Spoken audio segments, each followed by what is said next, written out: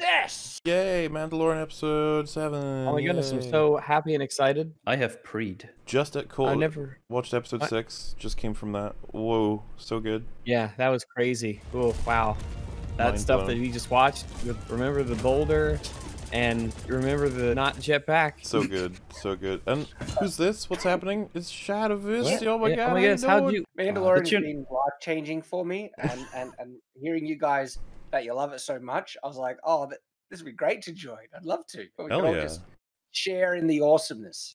What did you think of episode six, Shad? life changing. I mean, seeing Boba Fett do Boba Fett stuff. Oh, and I don't know about you You guys. Like rockets out of the knees. Yeah. Rockets Well- could come from other places, but the knee. So What? that, that was the, should- actually the first thing I wanted to ask you. I was like, what were you thinking about the knee rockets? What's what's the commentary there?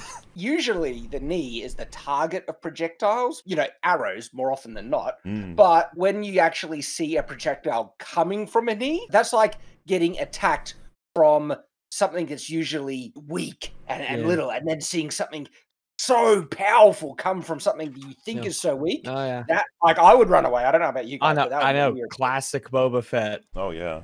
Are we saying like like a baby but with a chainsaw, that sort of thing? Where you're like, oh my god. Yes. That's supposed to be so threatening. Well, no, peaceful. Someone's gonna say it in the comment section. Better to get it out now. It's like that's not Disney though. That was made by the Star Wars people in Lucasfilm from ages ago. Why are you making fun of them for it? Okay, so he didn't shoot from his knee rockets in any of the other movies.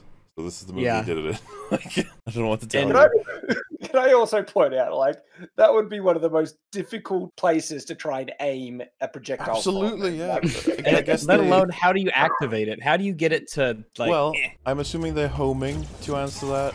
That's that's probably what they are. The the way because they floop around before they hit the targets, right? So they're homing. So criticism destroyed. Shad, get wrecked. Oh, Oh, I- dab. I'm Um, dabbing. I'm sure, as Fringy pointed out in the episode, I think it's like, how the fuck do you restock your knee rockets? Who's selling knee rockets? It's Who like at the same time, selling who's selling No, it's- homing knee rockets? he knows. a A, he guy. knows a guy who makes the knee rockets. what, what about the whistling birds and the jetpack rockets? Like, Yeah.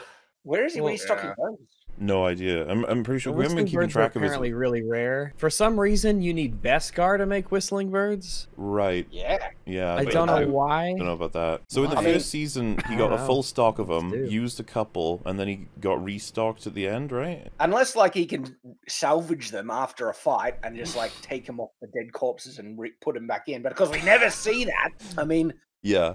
I've, yeah, I made a video talking about that. There might be answers to some of the world building issues, but they never address them. They just ignore so much crap, which just leaves you hanging like, oh, Yeah, okay, like, where's he why- getting the rockets and the whistling birds now? When what, you're not telling us. Well, I mean, why would we need to know where he gets the things he uses to shoot the people, which is all he does? Yeah, that's nitpicking. Yeah, I mean, I mean, the items that a protagonist has access to, which I mean, then determines all of the things they're able to do in a story. That's not important or anything. No, it's not. I mean, it, it's not important for things that are already established that they're plentiful and freely available, like whatever gas powers the handguns, Oxygen. which I've been told is going to be an item of conversation in this next episode. So I'm paying attention.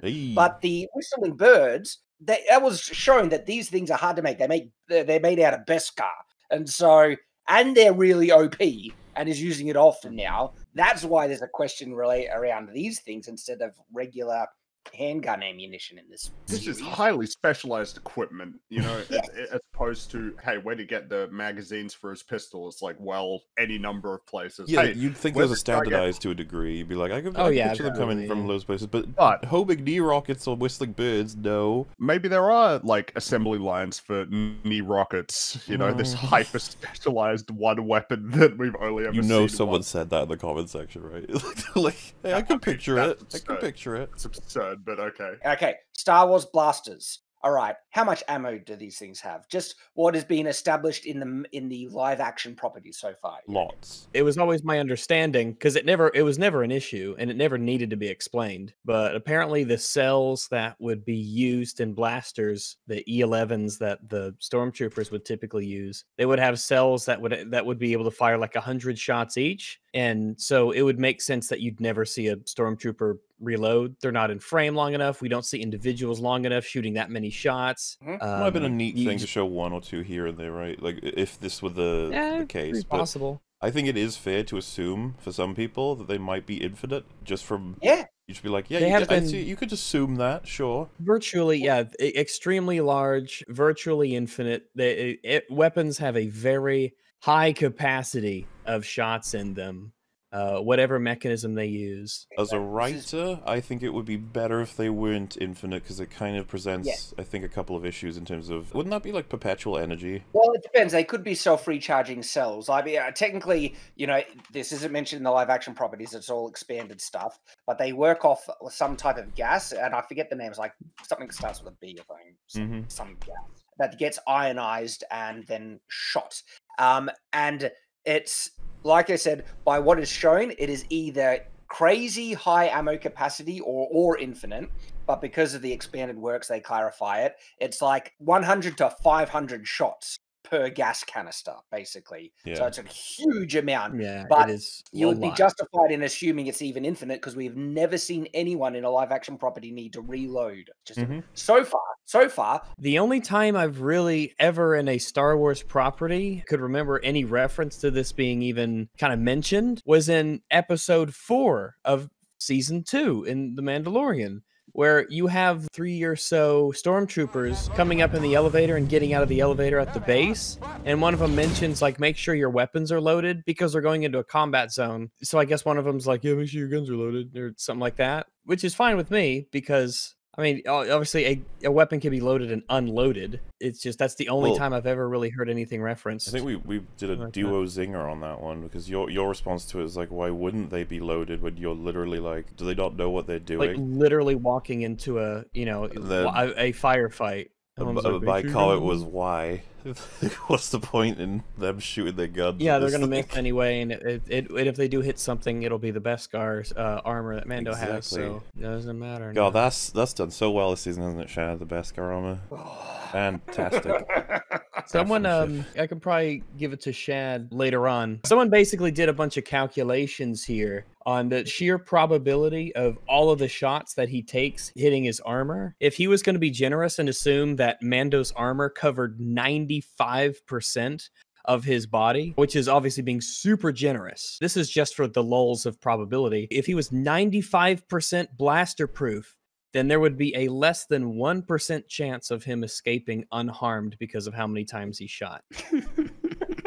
Well, he's got the luck of the force. He does. He Oh, has the luck of the force. I just want to point out something that has really bothered me. Is it episode two where it's transporting the frog lady? Yes. Episode two, season two? Yes. Yes. And they say no hyperspace Yes. and is traveling to another planet, not in hyperspace. I'm assuming that this planet is not in the same star system as Tatooine. Yeah, uh, at the And- beginning of our coverage of episode three, I think Rags Yeah, is like, "Oh, if- there's a planet there. Oh, okay. Like we, we Yeah, it's like- Yay. Well, yeah. If if you are, if it's even, um, if you're thinking about using hyperspace, it's probably not like from here to the moon or from here to Mars, yeah, right? which is already So if really you- far If you have for yeah, if you have sublight. to if you have to travel slower than the speed of light, you getting there is is not going to happen in your lifetime. Exactly. When I heard this, like, what? What? How can you get there without using hyperspace? You the only way that gonna- would be possible is if it's in the same solar system and it's really close and they're going very very quick just not technically hyperspace mm-hmm. but yeah it's one of those just sort of like don't Captain think about Marvel it at all in any way kinds of oh, things Oh, that they definitely. threw in. They deliver this information, the writers, and then they look left and right and left and right at the at the audience. Like you guys, none of you are complaining, right? oh. I don't know anyone who has like the, even the slightest exposure to science fiction, let alone just science and basic size of space travel, right? This would, is so blatantly obvious that it's like not traveling hyperspace, you will not get to your location. If these planets are in the same star system, that means there's two planets that are in the Goldilocks zone around the same star that Tatooine is on. But there are two suns, so uh, there's that. But still, that's like never established in any Star Wars anything that there was any other habitable planets near Tatooine because there was the ice planet and the water planet that Mando gets to just under regular thruster power, not going hyperspace. If you're going to make a science fiction story, if you're going to make a science fiction world, one of the first things that you have to do is you're going to have to come up with a, an answer and be consistent with it for how you do interplanetary travel. It's Yep. got to be portals, it has to be faster than light jumps, it has to be mass relays, it has to be navigating the immaterium, it has to be something. You've got to come up with a a solution to this issue. Then you got to stick with it and stick with its rules. Hence why they all have one, but then some of them will just randomly be like, "We don't need that today." You're like, "No, Well, you yeah, can't, you no, do. stop." And in, just in relation to his armor, this is the image that goes around a lot, and I just want us to Yeah. make sure we comment on it. Uh, So the, the original Mhm. trilogy one, I guess you could say the commentary there is that they miss a lot, and uh, even when they've got Hmm. a straight shot or we see shots going toward them, they just not hit. And uh, I assume this relates more to half of Empire and all of Return of the Jedi, probably. Yeah, the OT is it, it's kind of half and half. Yeah, Um, I like. Uh, you do the- see yeah. um, uh, Leia get shot in the shoulder, but She that's like does. the only time. I liked the prequel one. It's like they only ever hit the lightsabers or the ground. but you might think to yourself before you've continued the meme, it's like, what about Revenge of the Sith? And it's like, ah, well, when you put sad music on, it's. uh yeah. Oh, you. Yeah. Sorry there. and then the Mandalorian Jedi one's man. perfect.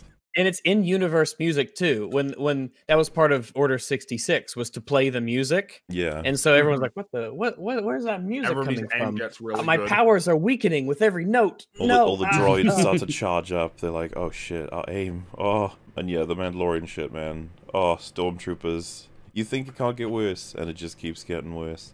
i'm sorry prefer if they missed.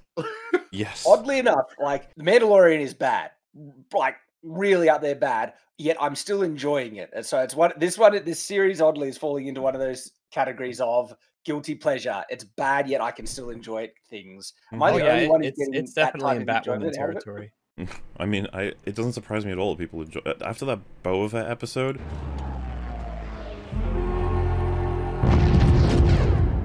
Nice shot. Like, yeah, of course I get why people are loving this.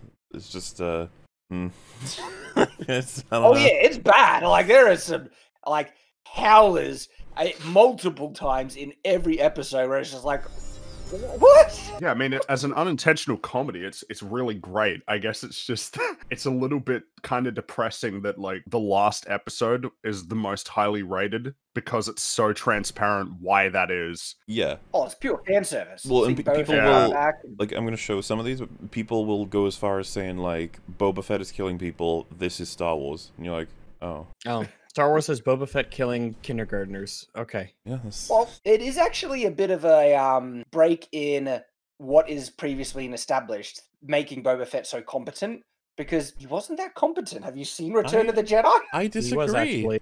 I yeah, disagree. What what would you cite would be why he's incompetent in Return of the Jedi specifically? Well, there's the jetpack part. What was incompetent about him in that moment? Probably having a button on the back of his jetpack and not being able to Well- readjust thrusters or control So it gets something they um seem to actually bank on in episode one of this show, uh, season two, was that there seems to be a fault with Mandalorian jetpacks where if you bang them on the back, they will activate. Like they rely on that. That's apparently a thing. Like that's a design flaw with whoever makes these jetpacks, obviously. But uh, we don't actually know if he was aware of that. And like the idea that you're wearing a jetpack and someone just sets it off out of your control, it's like I don't know. I don't. I don't know that that's what you're gonna do about that. You know? Well, every time he tries to fight someone in Return of the Jedi, he gets smacked down instantly. You know, Well, is I it mean, because Luke every Skywalker's pretty time. good, Uh, but so- he so- doesn't really succeed in much. What I would cite is uh, for some reason, Boba jumps from the barge onto the specific platform that Luke is on when he's got a lightsaber. I'd just be like, why didn't he? Why not not get close to him? That's probably not. Yeah, shoot him from a distance. That's a Cause, yeah, because that that moment has issues. But like, I'd say Empire. No, stab him with your gun. Boba.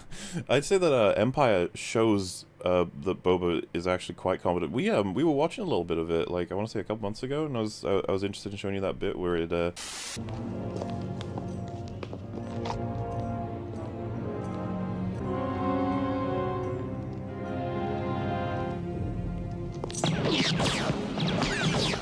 it sets up that he, he clues on to Luke being behind the corner because he hears the gun being. Uh, oh uh, yeah, good point. And of course, he doesn't give away that he knows. Uh, Yeah, and because is he- only and is one of the few people that is actually able to track uh, Han Solo. Like, Yeah, I always thought that Boba was pretty competent, but like there are clearly, you know, like he's hitting people with the stick, and then later we see that he's put on the helmet and the and the the, the armor in, in Mando, but he's now using a pistol. It's like, wait, where was that before? Why weren't you using that before? Like, are you an idiot? Like, why would you? Uh, and then you say that, but it's like, well, the stick's really effective against stormtroopers. Like, shut up, please shut up. Like, that, I that's got a lot of this. problems already. Yeah. So uh, I'm okay with him being competent. I just don't know that what we saw was an example of it because he's fighting idiots. Like all of them don't shoot Yeah. at him or don't do what they should do, and then they all run away, and it's just like, yeah. Maybe it's a matter of scale because he like technically kicked butt, like massive butt in the last episode, and he takes on how many stormtroopers just with. a I stick? don't. I can't give anybody props in this show for killing stormtroopers. No one's cool when you kill stormtroopers. It's like saying it's like being the toughest kid in third grade. Good for you. And you were held you're, back You're two the years. toughest third grader. Yeah, but you're actually not in third grade. You're you're actually just you're, you're a UFC fighter. it know, seems unfair. like, I don't killing- know. Stormtroopers are so worthless and pathetic that you, you've lowered your you know Zulu right.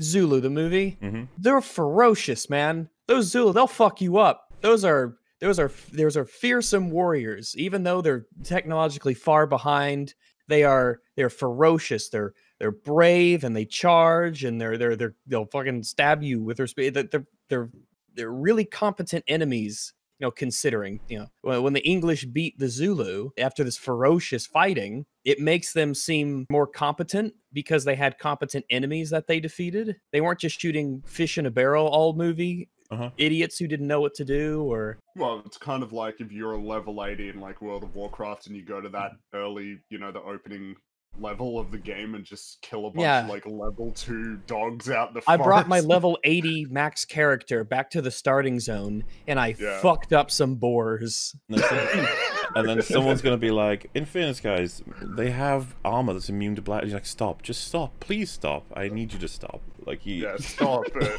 The stormtrooper armor has reached new levels of uselessness. Well, yeah, you like- can so- screw it with a big stick. I don't, yeah, I don't have a screenshot for it. It was just one of the things I saw in passing. Uh, was I just saw one of the newest comments on our coverage. Uh, what's the armor even for if you just get wrecked by a stick? And I like it, it's just like yeah, I, I don't get a bit lost now. Like he hits one of them in the head with a stick and it just blasts open all of the. sh- It's like oh okay. yeah, that was like, oh wow. So the armor will crack open, shatter in pieces with a solid enough hit from a stick. It's like that's not what armor's supposed to do. Like Oh. this this armor is holding you back. It's clearly cumbersome and the helmets are probably shit. in relation to the armor stuff, um, and I, I was in a call, I think with Franny at this point, but I saw a conversation going on about how wrong we were for pointing out that it's silly that they're aiming to punch his armor as opposed to doing literally anything else, like getting a shank at any part of uh, his, his exposed body. Wait, wait, you're talking punch? Yeah, With their- yeah, they were s- highlighting us, saying like the EFAP crew has no idea that it's actually very viable to punch someone in the helmet to disorient them. So if you hit someone who's wearing uh, like an actual proper helmet that won't shatter, and you hit him with a pole axe, okay, the sheer acceleration that the head feels from that knock can still cause the brain to like ricochet off the inside of the skull and do some mm-hmm. damage. And you might not have got gotten anywhere near penetrating the actual armor, but you can damage someone through concussive force through a helmet. But that's with a poleaxe. Yeah, You're not going to Yeah. do that with a punch. Yeah. They were Whoever like- said that, I want you to try a bicycle helmet or just a bike helmet, like a r- big one that you I, I your just motorcycle. um, the sort of nature of the conversation it just blows my mind. It's like we're clearly commenting on you have many options and you choose a very low viability one and you do it three times. Like that's an easy criticism. It's done. And then someone's response is you can affect people by punching them in their helmets. It's like what you just said addresses nothing of what we said. Like I don't even know why you bothered. it's just fun because we've been getting a lot of that with Mando coverage because it's I think it's so blatantly bad in some cases you have to change what we've said in order to respond to what we've said. People to do not like hearing you criticize it. No. My last video is getting a bit of a bit of a negative reaction because if you watch my video, I'm actually pretty darn light on my criticism because I, I I'm very open. I say, look, I do enjoy it, okay, And I don't even talk about the plot issues. It's just world building things. And then I even say that there's ways you could fix it, yet still that has ticked off a good portion of people. It's like, Oh, you're in the right company now. You're going to take off a whole bunch of people. Well, our comment section honestly is turned on Mando by now, so I'm fine with it. I think people are mostly chilled now, especially after the last one. Who knows what we got coming to this one? But yeah, something we did mention in our coverage of episode six, but we've talked about it uh, since, is that yeah, he does have a remote control for his jetpack, so no matter where it is, you can press a button, it'll come to him. That just makes it even worse. that Yeah, it does. it's just like, oh my god, man, why he's so incompetent. People have a blind spot with this show. I'm just I'm thoroughly convinced of it. Oh yeah. Uh, they just they do not treat this with the standard that they treat the sequels. The more you look into Mando, the worse it gets. It, it really is just a mess of world building. So instead of raining the sh- shots down onto the targets in the in the zone in episode six, instead, like so that's like number one choice. Number two, sending the dark troopers to fight rather than your worthless other guys. Number three, instead of firing at the people from the ships. I don't even know if that's more or less viable than the previous. Like it's between those two, whatever. And then the fourth one being dropping off the troopers in like any place other than the kill zone for two snipers. And then you have like all these options, and the Empire chose literally the worst, which is just open them out in the bottom of the hill and they run. We go over it kind of vaguely, but it's just like, what is the scenario here? The Empire arrive, they spot these people, they're going to send stormtroopers to attack them, and if that fails, they will fire a shot at his Razor Crest. You, d- you can't even uh, figure out what the the goals are here. assumed to capture Baby Yoda, but you'd think you'd have to neutralize the people with the guns first. And the thing that annoyed me is like these drop ships have guns on them, Yeah. and so you think you could just Which would be pretty powerful, they're pretty alone the, big. you know, the Star Destroyer. we were really laughing at it and um I was talking to Jay about the clip with the because I think he, he was curious about how the how she pushed the boulder over which is I think a lot of people point that to a criticism if they don't see the context of it it's hit with a mortar first to loosen it and then uh, Jay was like oh so that's why there's a mortar then because like we were all like what the fuck do they have a mortar for so weird that they just have a mortar like what are the I, odds I don't I don't think it's I don't think it's weird that they have a mortar. I think it is Well, I, I mean they're is. they're very useful. Yeah well lots of things are very useful I, I don't I don't think Well, that they're an justifies army, having a random would have- fucking mortar oh, It- it- Oh, it it, I'm, I'm not very- surprised to have one. It, it, it's an in, it's an extremely useful indirect fire piece of equipment that any Well, that's army the would point use. there and- that you can you can lob it in a in an arc to get you know Yeah, cover. it's- It still looks Nobody, very nobody is World questioning what mortars do. That's that's clearly not what we're gunning for. It's the fact that you have a dropship of stormtroopers and one of them has a mortar. that is absurd. What the fuck? When does that ever happen? I don't, thi- I don't think it's absurd. I think it is. One of them has a turret, like the, the yeah, they, they, have they often have gun or something. turrets. I guess I'm just have to agree to disagree on this one. I think it's fucking crazy that they have a mortar. That the only reason they do have it is to justify the boulder being pushed. Yeah, that, that's all they Yeah. use it for. Yeah, certainly. But because they're stormtroopers, so they can't use anything for shit, which is how they justify it just being like, oh, all it does is loosen this boulder so she can push it at them, which is a thing that happens that I have to constantly remind myself is a thing that they had happen.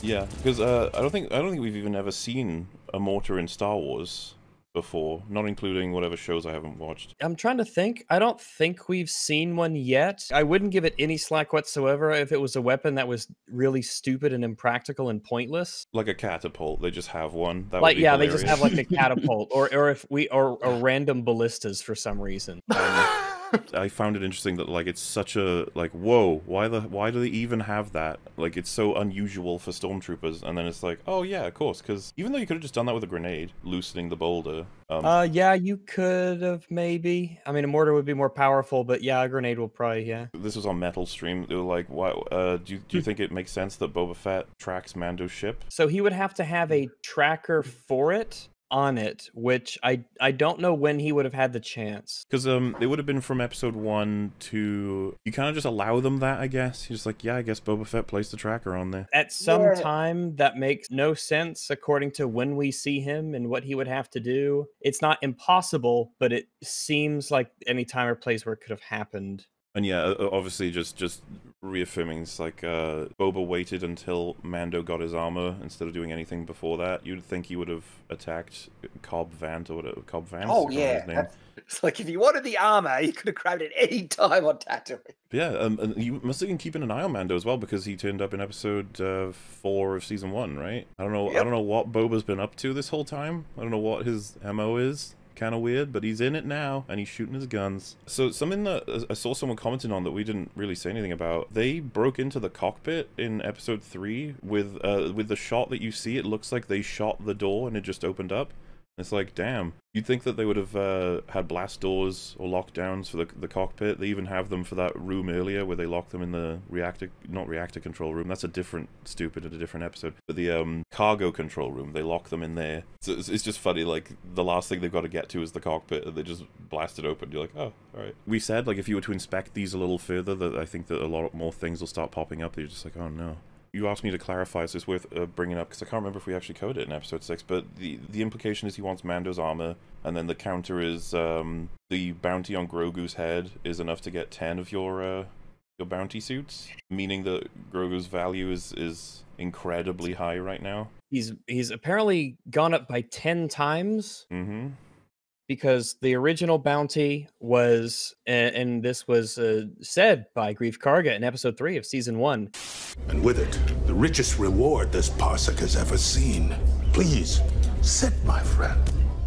We can multiply that by ten now. That's uh, that's the price on Yeah, uh, the the Grogu's he- uh, Grogu's head to be uh, turned in is. But apparently, no one really does anything for it. you saw the amount of bounty Okay, hunters that had the job for Baby Yoda when the price was, you know, a All of them. and now A- it's and not only that, the difficulty it was to try and escape them. Mando went to one of the most backwater planets he could find, and it only took a couple of days for a bounty hunter to find him in that situation. No, it took it took two weeks. Oh yeah, yeah. Two Time does travel a bit in that. Yeah. which is still odd and leaves a lot of questions. But you're like, okay, you can go somewhere, but eventually, in two weeks, randomly, he was going to kill Baby Yoda for reasons. So Uh, but luckily, it. Cara Dune was there through the power of editing uh, to save uh, him at the last moment. But yeah, when it when it comes to something like this, uh, you fobs were a fucking mistake. Well, it seems the show agrees with you now.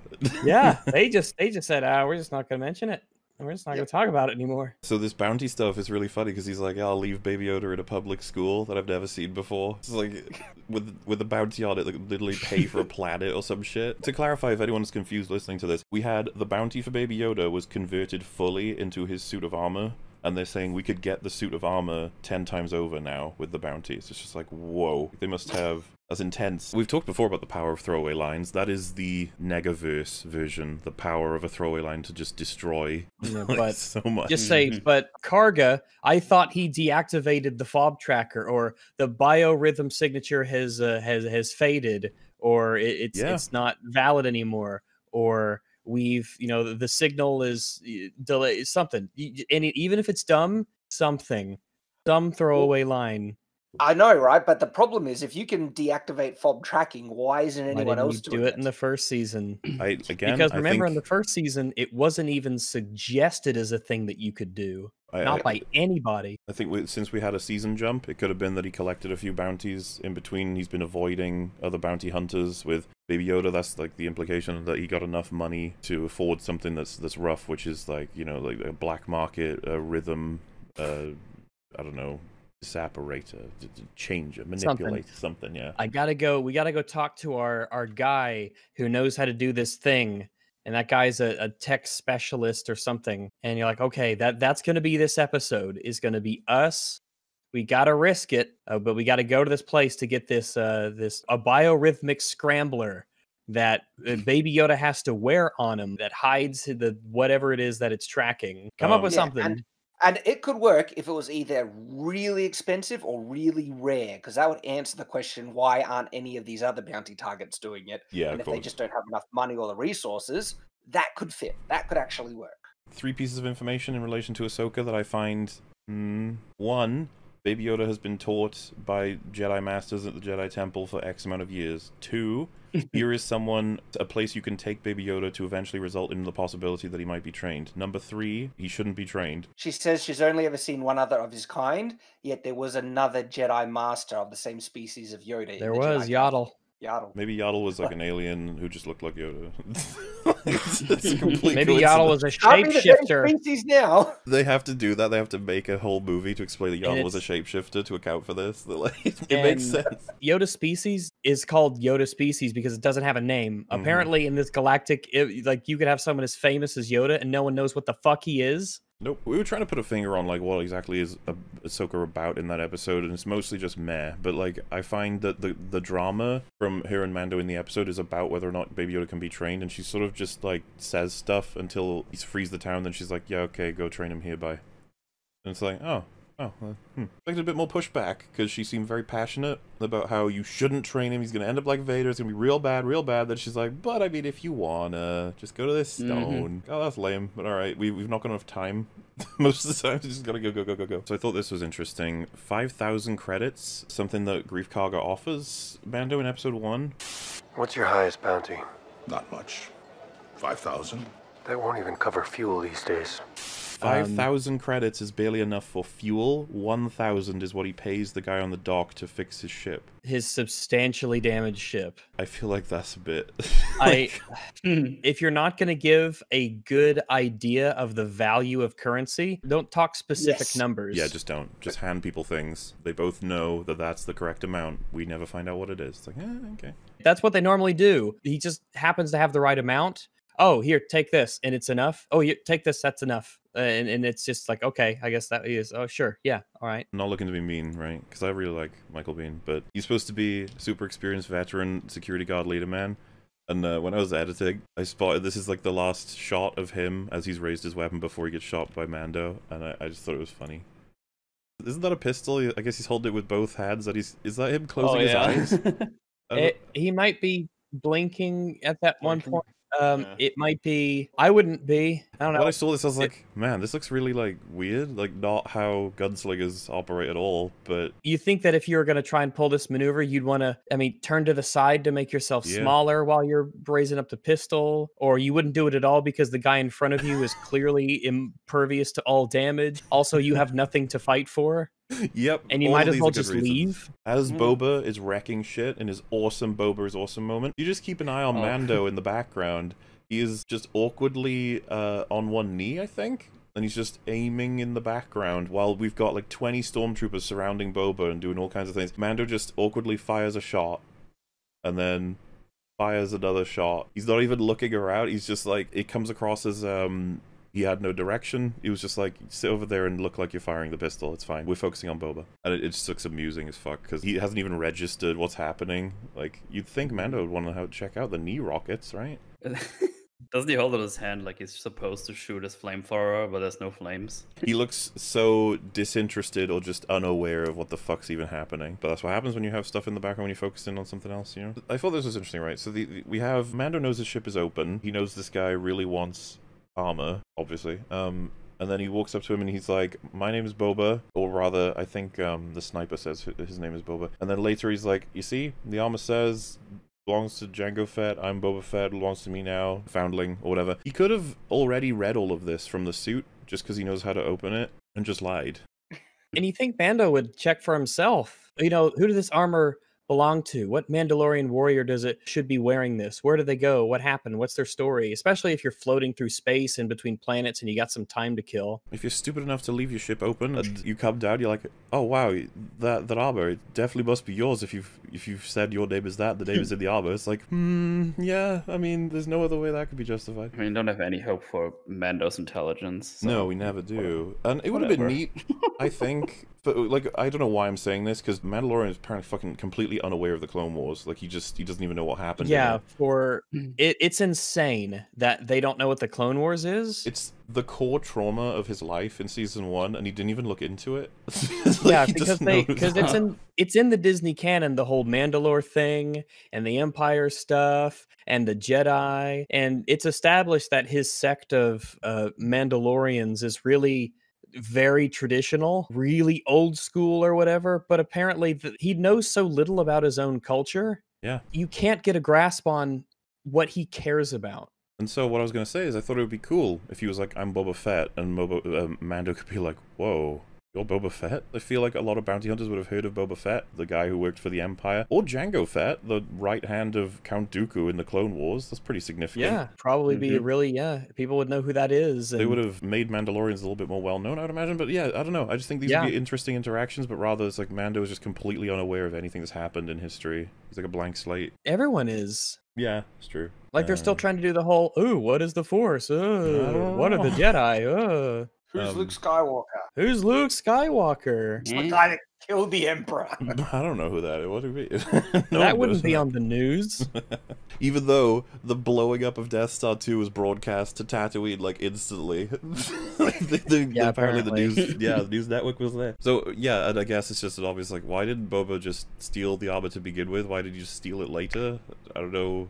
If because he clearly considers it his property, you know. oh yeah, he wouldn't consider it stealing. Yeah. It's just so funny how it all lines up. He's like beats the all because you know I think they wanted to have the action moment with him with the stick and then him with the suit just because that's that's cool. It's all so cool. And so just he beats someone to death, looks up, and he's like, "Oh, my armor, sweet."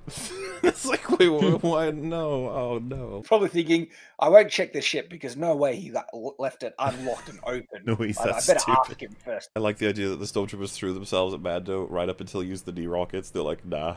No, we've had enough. I mean, this is clearly out of our out of control now. He's got knee rockets. We're done.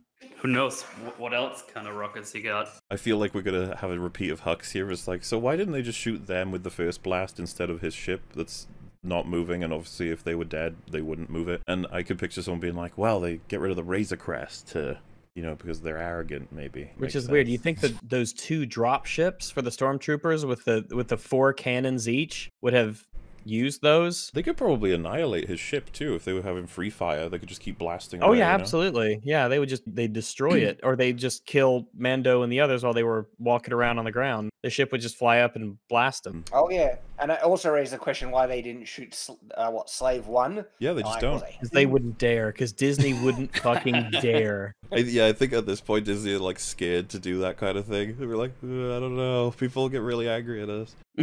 Uh, I Am am more confident that that Mando hate- is going to die than Boba Fett. oh yeah, Am I the only one that hates the designer Slave One? I think it's very wonky and strange, I've and I would not. it. I would not want to own that ship.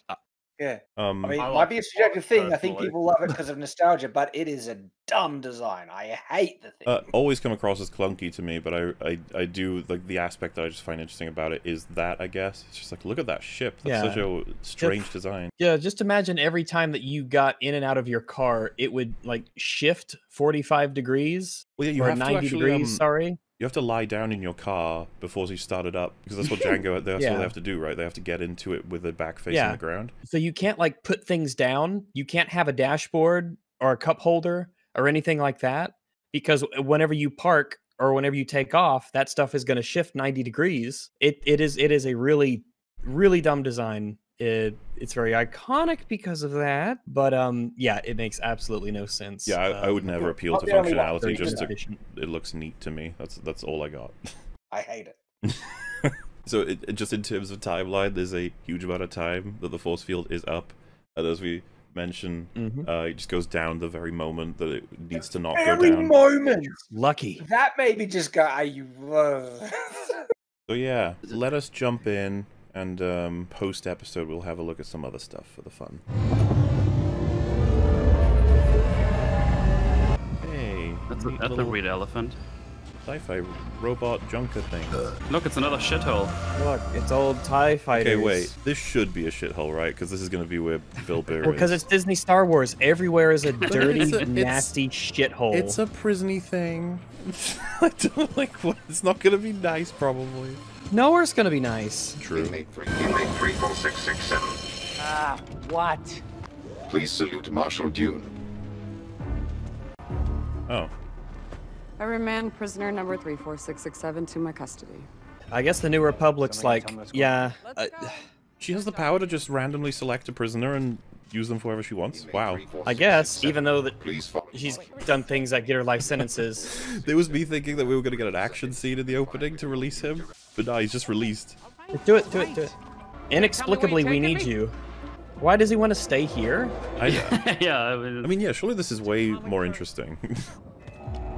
oh, he closed oh, it up, did huh? clean us up. You know, for a second, I thought you were this other guy. Oh, there he is, though. Now there are two of them.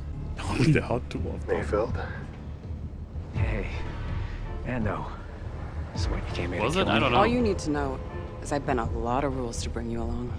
What? Why am I so lucky? Did you? Did Because you? The robot was all right with it. Yeah. Hey, that was a long time ago, all right? Of all the ex-imperial people in the galaxy, this is the guy. I mean, it's obvious that it's just because it's Bill Burr, but Yeah, it's obviously because They they're want Mm. Bill Burr back. That's it. I'll, I'll be honest. I like that he's here. I find it, Oh, dude, I like Bill Burr tons. Yeah. uh, but Yeah. it's just amusing to me, I guess. That like, yeah. So by the way, I said that this would happen. His his breakout would just be the opening scene, and that's it, done. Because fuck it. And it's Cara Dune. Like, I don't understand. She became a marshal, and now she can just. uh, Oh. whatever. A marshal on this one planet, It which means she can come here We need and. coordinates from off The ship rotates on the Just inside. back to the. Okay. They have his- You know what you could have done to avoid that? That's an Just Just elaborate not have the ship solution. land out. Yeah. yeah, actually, now that I think about it, it's like if there's a mechanical failure, you can't fly the ship anymore. It's a lot of compensation for a ship that doesn't need to do what it does. But here's the thing. I can't get those coordinates unless I have access to an internal Imperial terminal. I believe there's one on Morak. Morak. There's nothing on There's Morak. probably a lot of internal secret Imperial, Imperial mining hub, terminals. Okay, if you Yeah, let's get... go to that base. oh, Yeah, we blew it go up. Go back fuck. to that base. It's empty. No, it, did it explode because of lava? Or I, I, I think so. I think they were talking about how I was going to vaporize all of it. oh, Man, well, go go to the hideout had then. kept that material, the stuff that you could have. I also like it's just in true Mandalorian form. We need X from you. Well, I'm gonna need Y. All right then. It's the uh, refinery right there. Highly volatile and explosive. Yeah, kind of like this one, huh? So we go Why in would he think she's volatile? This is when this is all he's ever met of her, and she's Yeah. been very calm. Is this a character in universe acting with information that only the audience would be aware of? Guys, the show doesn't have good writing. Hey. Let the episode. Or your on to this jetpacks. thing. Once I get the Yeah, I'm wondering that. Where, gotta where's the jetpacks? They'll put them on when they're ready. Also, your armor is misaligned. Your costume isn't great. Uh, Well, because these remnant bases are set up and run by ex-ISB. If you get scanned and your genetic signature shows up on any New Republic register, you're gonna be detected, and it's guns out. You sure do know a lot about Imperial remnants. Hey, if you want to accuse me of something, then just say That's it. why he's here. We don't have time. Yeah, that's the whole reason you yeah, hired he's here him. because we know about the Empire. Well, won't the alarms just like so see you? in- So unless you're gonna take off that helmet, it's gonna be me going in alone. We'll Ah, say goodbye to you a no. little bit. Ah, But I won't be showing my face. He's gonna be wearing stormtrooper armor. Yeah. Why do we need these helmets to drive this thing? Safety first, Rags. Did they not see him? Okay. Didn't- guess yeah. they really like that sound cue, don't they?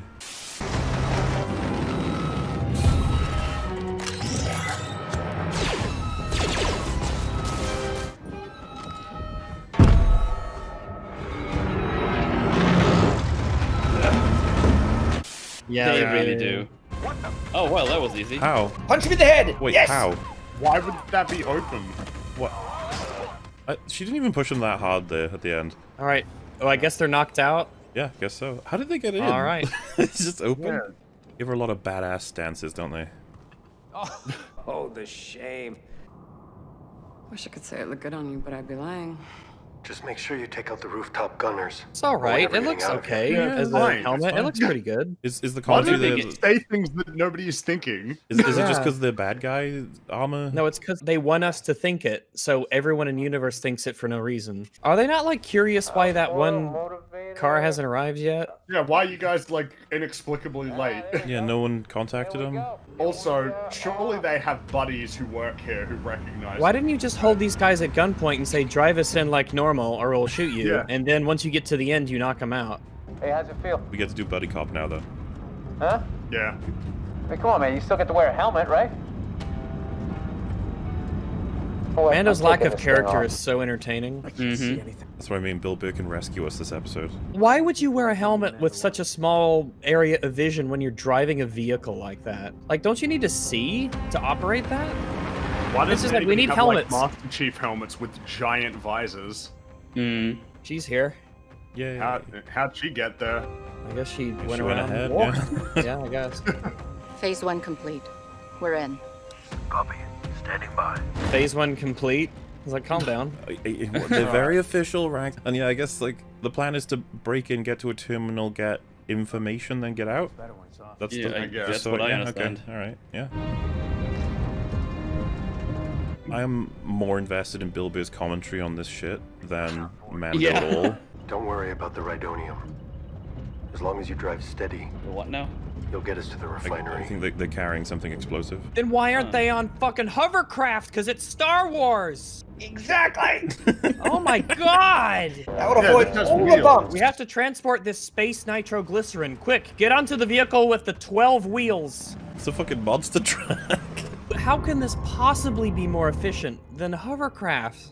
Invaders on their land is all we are. okay. We're not going to explore this concept in any way.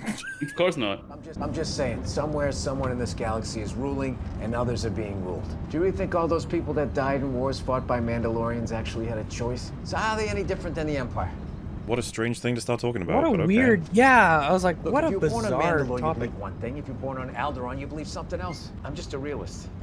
I'm a survivor, just like you. You're nothing You like and me. I are nothing alike. Yeah. I don't know. Seems to me like you said you couldn't take your helmet off, and now you got a stormtrooper one on. So what's the rule? Is it that you can't Okay, take right. off your Mando helmet, or you can't show your face? Because there is a difference. Y- Yeah. Yeah, Yeah. accurate. I'm just. I'm like, I Man, get dropping is the these spirit of the truth bombs, thing? man. Things. Can this be called the Bill as Burr show? we can make it Oh yeah, I was about to say, just have Bill Burr go around the galaxy observing how things. How come this is operate. shit? Please stand by for reroute. It was uh, lasers. Oh my. Yeah, so you're gonna want to stop going in that direction. Oh yeah. Okay. The Rhydonium is still stable. Did you not see the explosion? 705, maintain speed and course. Also, the Rhydoni went from green to yellow. It's like that's concerning. Find another terminal. Why is this the mode of whole different trans- direction? You're not Why- to a road. Why are you moving forward still? And why did they not think about any other places? Why was this the only? Oh Jesus, here we go. Oh. Look, they have hovercrafts right there. Hovercraft. Wow, that looks steady. Look, the local pirates have hovercraft. Not the Empire though. They're retarded. Ah, sweet action scene. Let's do it. Sounds like a really common occurrence. Look at all of these. he can't hit anything in a stormtrooper. Oh no, he No, never mind. Oh no, they ruined it. It's the armor. Are you seriously shooting a blaster near Rhydonium? The ship's not gonna blow up because he's shooting the blaster. Yeah. Why can Why you? wasn't Why can that you open locked? that? Why could you? Shoot him. Why? What? You can just blow up the town. Oh my god. Wow. All right. Oh. oh, they are critical now. Why? Nothing's happened. What? What's Just wrong? Why is this Their, the their scenario? hovercraft can clearly go faster than you. It This- doesn't make a difference if you're moving or not. Oh, there's so much about. How did you not see them? How they? Just don't shoot them. Just Yeah. shoot him. Shoot them with your gun. They have sticks. Why- Mando. why- Shoot them with your gun. Mando. Use your firearm. What are you doing? Shoot them with your Why are you firearm. getting out of cover? You were in cover. You Yeah, now fucking. shoot the other ones now. What? Oh, Wow. What? uh, Okay, I guess it broke. We gotta have our fight scene. Maybe he ran out of ammo. He must have run out of ammo. No, the wheels are on the side that wouldn't crush him. Oh, it wow. broke his No, that's- armor. Broke the armor. Pretty sure they actually just broke his armor with another stick. Yeah. Good So ask for Bill doing Burr's that. gun. Go get Bill Burr's These gun. guys are probably shocked that this one Imperial dude is able to kill them Pick it at up, all. drive faster. Get, can't hear drive you. I have my faster, hel- I the don't have my helmet blows on. up. get Bill Mando should have been ready for the change in speed, but all right. Bill Burr must have a gun, right? They both did. Go get his gun. they should. I How thought that thing faster faster than made it unstable. I can't believe that. What do you If mean? What am I doing, fast, you it dipshit? blows up. If you, you go There's four. There, there are five thugs no, with they're- sticks. Just kill them. You could They have got the telegraph gun all the of their moves, time. and you can just take their weapons from them. Just kill them and be done with it. But Rags, these Oh, are super thugs. They have stick. Did he make a baseball sound? Well, they're more think competent than stormtroopers. I can tell you that. They're probably shocked that this one stormtrooper is able to fight back in any way. Yeah, they're like, what's happening? this has never happened before. The other ones just exploded. What is happening? What weapons are these? Like actual sticks? It sticks with spear tips. I don't know. They they s- Oh, they their, their pull pirate off? budget got spent Yeah. on the hovercraft. Wait, why did you Yep. have to pry it open? The other guy just lifted it. What is happening right now? What? Oh. Wait, so their only goal here is to destroy them? They're not plundering at all? Why are you guys not Why do they? running Why are they still here? Leave. How long that guy's these probably glad he gets to live. Take. Re- really? Well, okay. Wow. Oh my god. Wow. How stupid is everyone in this universe? God damn. everyone in this universe is just brain dead. You get the. Out of curiosity, are these raids a common occurrence? Because if so, you'd think you'd figure out better ways of like actually not having this happen. Like having weapons. Look at how many there are. Go get the other gun. They Go get the all other have gun. a grenade each that they've all just charged. What the fuck? Close, close the lid, and they can't do shit with Is those. that like May- a Maybe just throw the grenades from the platforms and not Go jump get off. the other gun from Bill Burr. They have grenades. Oh, You're there's not the gonna TIE punch them. escort. Oh, okay. Dude, That was wow, you the nearly insert sort of shot your own me guy. Wow, geez, you closer. Oh my oh goodness. God. They actually managed to affect something, though. I can't believe so it. proud of you. The one time the Imperials are capable of anything, it's just in the nick of Just time. save, To save the save heroes. Mando, it's To funny, save the heroes, the stormtroopers can actually Wow. shoot. Look at this! people. They didn't Wow. miss. They didn't miss. They're hit. They didn't even How? miss. Wow. Wow. There wasn't a single missed shot. Oh my Wow, if god. only they were that good all the time. guy's What the fuck? I like how the best soldiers are the ones just guarding some refinery in, in the middle of nowhere. Strike teams trying to retrieve With like Baby TIE Yoda and everything. Yeah, fuck Yeah. it. Oh my god, I love the We'll fact that the they're all super competent when defending our heroes. That's so funny. And yeah, about Wait the a whole second, you're not Jim. about the whole common occurrence thing is like, yeah, you'd think they'd have accompanying ships. You'd think they'd have For- Or, more company- or weapons. turrets on the back of these vehicles. Mahler, I'm having Holy that feeling. Shit, look how I'm having there the feeling Oh no. that, that like of, of getting something from the Imperial's perspective. Yeah, I think that's something we could gonna do. explore. Uh, having a feeling of an idea. Oh my god. Well, I mean, we got a half episode left. Who knows what we're doing? Remember, Bill Burr These said like it's just armor, where you're born. You know, like a lot of what you believe is where you're from. I mean, I'm up for an episode that tries to portray the Empire as good guys. Yeah, that'd be awesome. Look at him. We're so Does glad you're alive. recognize? We care about each other here. I will say Oh. this seems unusual, but if if if, if, if we want to like, I'm I'm cool with this. I'm cool with this too. Like, yeah, guys, you made It it, just back. comes Good out of nowhere. That's the weirdness of it. Yeah. But Mando exploring a cool idea. what Whoa. if he had to do a bounty and he had to pose as a Imperial for like an episode or two Yeah. or three or a season and he learns about Z I better stop. I better stop. I better stop. Everyone's Still carrying around their wondering guns because anyone's they, they don't have holsters. Well, don't look at them. That's What? weird. Wow, that was Oh, majorly each other? suspicious. Valin Hess. I used to serve under him. Will he recognize you? Oh, So he's already seen you. He- he- yeah, Okay, just look your So straight face. not only is that incredibly unlikely, considering everything, but it's too late. Wait, no, You put your helmet on. Put your helmet on. Put your helmet on. Put your helmet on. Put your helmet on. Go get your helmet. Put it on. If we don't get Go those put your helmet on. I'll lose the kid Yeah, forever. just Go put your Go helmet get on. your helmet. Give me Go get your helmet. stick. It's in the truck. Go get it. Just get your helmet. they're having this conversation in front of his field of view. To access the network, the terminal has to scan your face. Okay, Okay. So, so take the helmet off once you get to the terminal. take the helmet off there and then put it back on afterwards. Yeah, easy. Wait, Mando's doing it. So Mando didn't tell him to just go get his helmet. Do you understand how Don't suspicious it stand is in the hallway. that someone That walked into really the room, walked back out, provided go. a piece of thing to someone Oh, else who then walked job, in? you guys. Jesus Christ. Look at them. They're all looking at you. Is- The is he terminal's in gonna- the cafeteria? But wait, this has to scan your face, right? So Yeah, is it facial recognition? I don't understand why it Why would scans that your work face. on him? If But why would it work on Mando? Why are you looking? Why not are you him. being the most suspicious motherfucker that exists? oh, okay. He just broke the code. How is that not incredibly suspicious? Also, why would the facial scanner work on him? I don't understand. Wait a second, you're not with us. Why would it work? Why would that? What?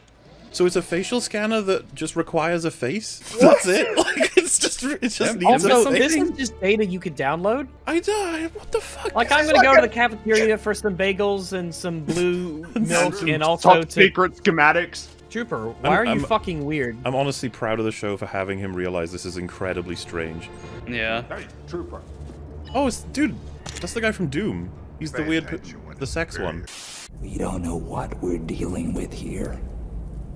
It's SOP to call We in. are the reinforcements. What's your TK number?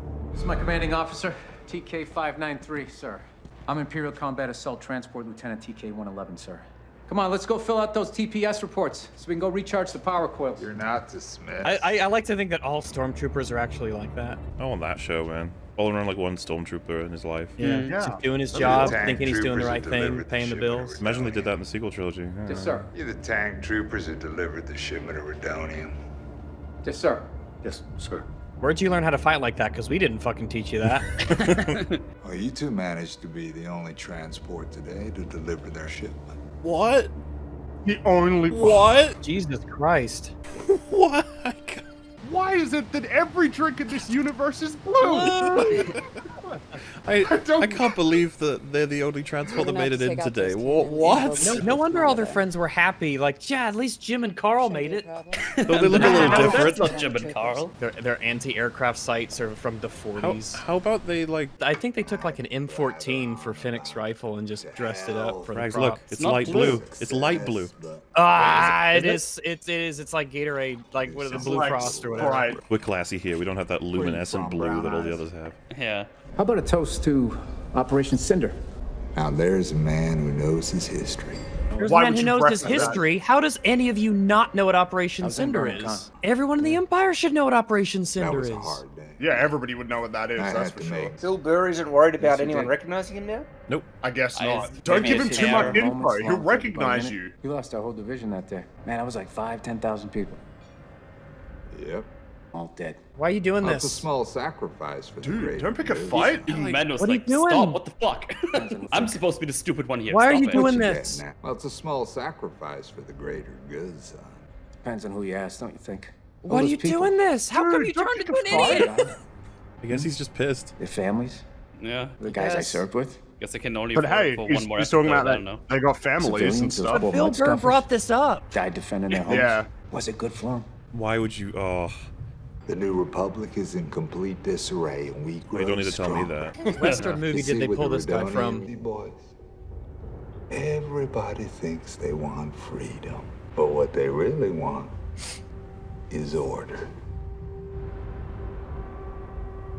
Ah. To the Empire. What? Wow! Okay.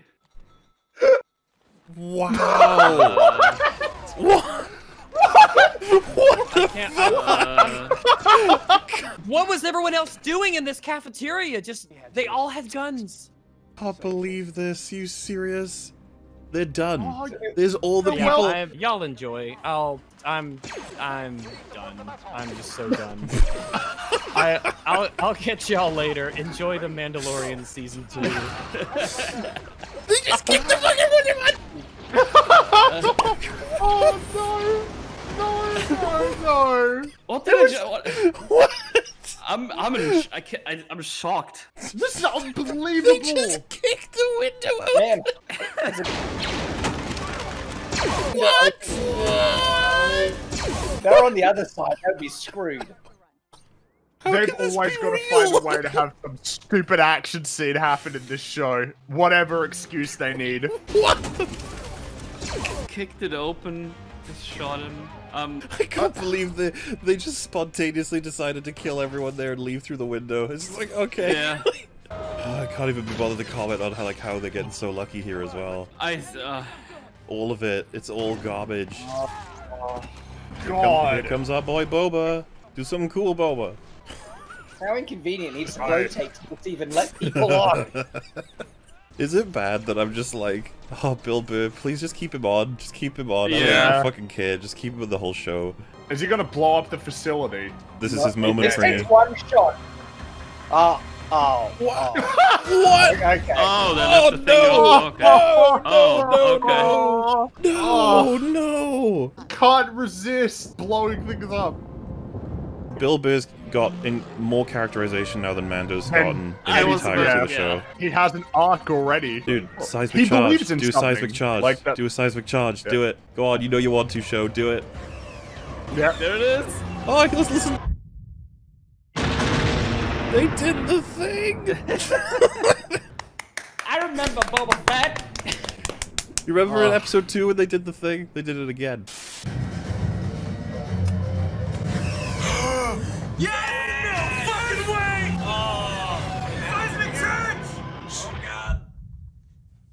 Oh,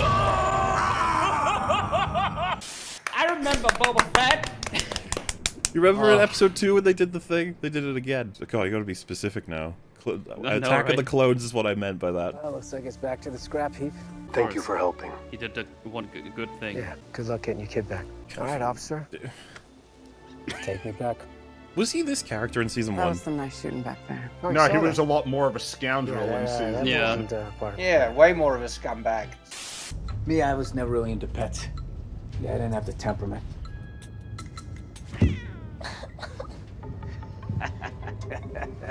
Make sure you clean up your mess. If you let us go about our job, you can walk away with your life. No, we won't. Hey! Tax on the way. He's already dead meat. Let's go. On, it's better this way. We're not killing anybody, you understand? Get that blaster out of my face, Mando. I'll see to it you get triple share. Just get him. You better be good for it. Well, looks like it's back to the scrap heap. Good luck getting your kid back. All right, officer. Take me back. Get that blaster out of my face, Mando! And like, I'm cool with him being an anti-hero kind of dude. Like that, I, I just want, I want more Bill Burr Star Wars show. yeah. Too bad. Oh, they're gonna pretend he died there.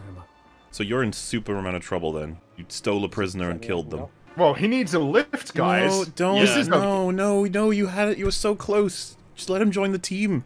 Yeah. Uh, Bill Burr doesn't have the time for that. I He's got a don't care. Make him. He's like the best thing Make about the show right now. How's he gonna get home? Like he's just on some random planet. Oh man. Oh, boo. What? He's Alright, not- alright. How can you just leave him here? Yeah, surely give him a lift. Yeah. Like, what is he gonna do here? This is just some weird planet that has an empire base exploded on it. What's he gonna do? I guess hang out with the villagers. You have Hey, something me. I want. Oh my god. Could they have picked of. a less intimidating actor not. to fill this role? He looks like an accountant with a stick up his He will butt. be back They're with doing me. Taken right now. I find it funny that someone in the Empire like watches that. They're like, "Who the fuck is this guy? Who cares?" Yeah. Just some random Mandalorian dude. Oh, we've set up for that So- finale now, huh? Yeah. Uh huh. Where, where's that one sit? Somewhere in the middle, I would say. So In the middle. I'd say this is an example of it might have some of my like favorite stuff in this season is in this episode, but there's Mhm. incredibly stupid shit as well. Oh yeah. Mhm. Again, stupid I- fighting. Because Bill Burr stuff's really cool, but like there's still Yeah. I the did enjoy it. I, insane I found it a lot of fun. planet. There, there were some really dumb things, like like Well, I mean, that I- I facial was- recognition thing. That was astoundingly dumb. Well, and just that entire ba- final sequence there. Like, what what were they thinking? I uh, I I find as well that the stuff that I like is still a little half baked because I think we rushed Bill Burr's arc oh, we could have had a whole season on Bill Burr's arc. Yeah. Really. how testy he is about being careful to then be like, I'm gonna blast everyone away in this room, which which is adjacent to a room filled with troopers. It's like, um, fascinating So, choice. I kind of like that, you know, he could get that angry that he just like screw it. Uh, so that part I kind of like, but it's interesting because in the truck when they were driving there, his character was almost like trying to justify. Was he trying to justify the Empire? So he's like, everyone, of. it's all bad. I hate Empire. I'll kill you no, no matter what, kind of thing. I think that it, it doesn't quite work the way that we would have uh, been praising it for if it did. Like in terms of he's we're, we're all appreciating some of these comments, but just like only in isolation. I think because it's like oh, so the challenge now is to make it through this drink session, which kind of reminiscent of like Inglourious Basterds sort of thing. It's like oh, this will be cool. But he just mm-hmm. immediately starts antagonizing him, and it's like they're doing that to create a payoff that's kind of neat in isolation, but it doesn't match this scene. I don't think. Like Bill Burr should immediately just be like capitulating to the to the officer, be like, oh yeah, man, you do a great job around here. I love working for you guys. And if you want, I think you try and turn the scene slowly with him getting triggered by different personal things, but he kind of brought it up himself. You know, he's just like Operation Cinder went really bad for for a lot of people, and you don't even care, do you? It's like, wait, why did you say all of that? why would you do that? I guess he's got a grudge. Like That's what I mean. I, I think it would be better if, like, it, you know, what'd be cool is if the the officer was actually providing like uh, alternative lines to Bill Burr that Bill Burr provided to Mando, not just a scene ago. You know, and That then and Bill Burr like slowly realizes like this is bullshit. Yeah. There's something there. I think, and it makes me really like the fact that Bill Burr was given a character. That's cool. Yeah. But holy shit, all of this episode, like plot wise, I went on a rant in my last video about how dumb Imperial Walkers are when they have hover technology, right? And Uh-huh. it's the exact same thing with those cars, what we were saying. It's like, why would you use unstable, bumpy, you know, wheels cars with unstable fuel that needs a smooth ride? That's just that's amazing in terms of a world building stupidity. It's just like, oh, oh my And yeah, so because it's only like you know just under 40 minutes, you can really just summarize this as we need to get to the cruiser from last episode. In order to get to the cruiser, we need Bill Burr and another item, and that's this episode. So it does fit the the formula. Mm-hmm. And the plot line then for two seasons will be he was sent to get a bounty. He decided to rescue the bounty from death. The bounty was then kidnapped, and he got the bounty back Because I'm assuming he will by the end of the season, and that is the plotline for the whole season. episodes. Yeah. Wow. With bits and bobs being added here and there, I don't think they've done anywhere near enough world building to justify that little of plot. Really, the the only episodes that haven't been filler have been like these last two. Frankly, I feel Yeah. like even the Ahsoka one was kind of filler. Kinda. It's in the weird middle ground where like the actual plot of that episode doesn't have anything to do with the broader story, but like there was important stuff moving things forward. But that's it. Well, we're at the two, point- three, and four are uh, filler. I'd say we're at the point where we're trying to sort of say like it's not filler if they introduce a new important character, right? It's like I guess, Yeah, like that's I all that really but I mean- happens. It's just amazing to me because it's like it's been so long while watching Mando that I've had a, a dose of like characters thinking about something and making decisions based on it. Yeah, like it's just like whoa, that felt like a you know an ocean in a desert sort of situation. Yeah, because like, because I mean, what we saw there was the potential of, hey, maybe we're going to explore.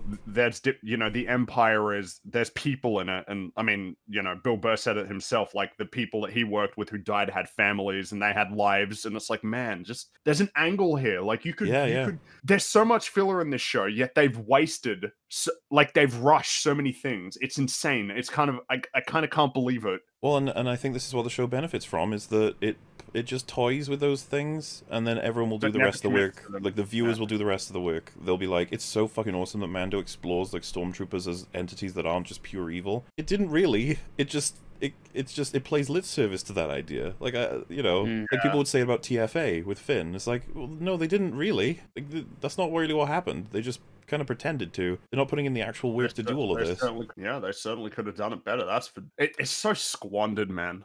And you have Cara Dune. I'm trying to think of like how this even happened. So she was with uh, Greef Karga, and she was like, um, she said if everyone was to check her history, she could probably go to jail. So she helps him rebuild this town. The Republic come by, and she signs up to become a marshal. And she's guess that's no successful. And this gives her the ability to go to prison camps and just abduct prisoners. Yeah, I I'm mean, very confused how this works. it, it seems consistent with how incompetent the New Republic is. I mean, yeah. New Republic is highly incompetent. Yeah, I'm, I'm glad It's that officer pointed it out. Absolutely fascinated that, like, and of course he's now dead. I don't know if she'll re- receive any repercussions for this. She said that she broke rules to get him out of there. It's like you uh, killed Yeah, him. you'd think the New Republic would be like, wait, so you took a soldier for, a, a- you took a prisoner for a mission and they died. That's like, that's bad. You That's do really- realize like, that, I right? feel like that's, jailable.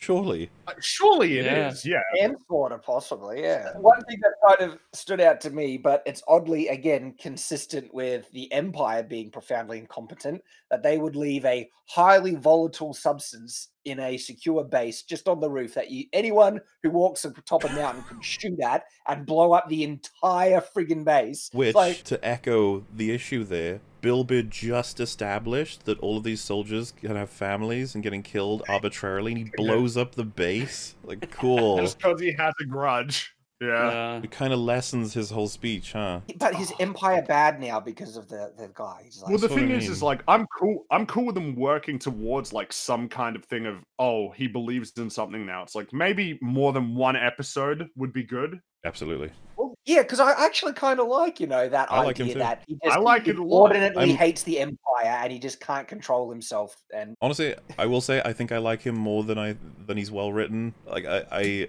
I just like Oh, Bill Burr. Bill I like the things he said. I feel like with a lack Yeah. of it in the rest of the season that I'm liking him more than I probably would in isolation. should- But my god, you finally have something show. Don't let it go. like please. They that'll be make the it, you only know, episode is in in this season. I bet. Well, dude, Like, they've announced like 50 spin-off shows. Just have Burr, a Star Wars story or something.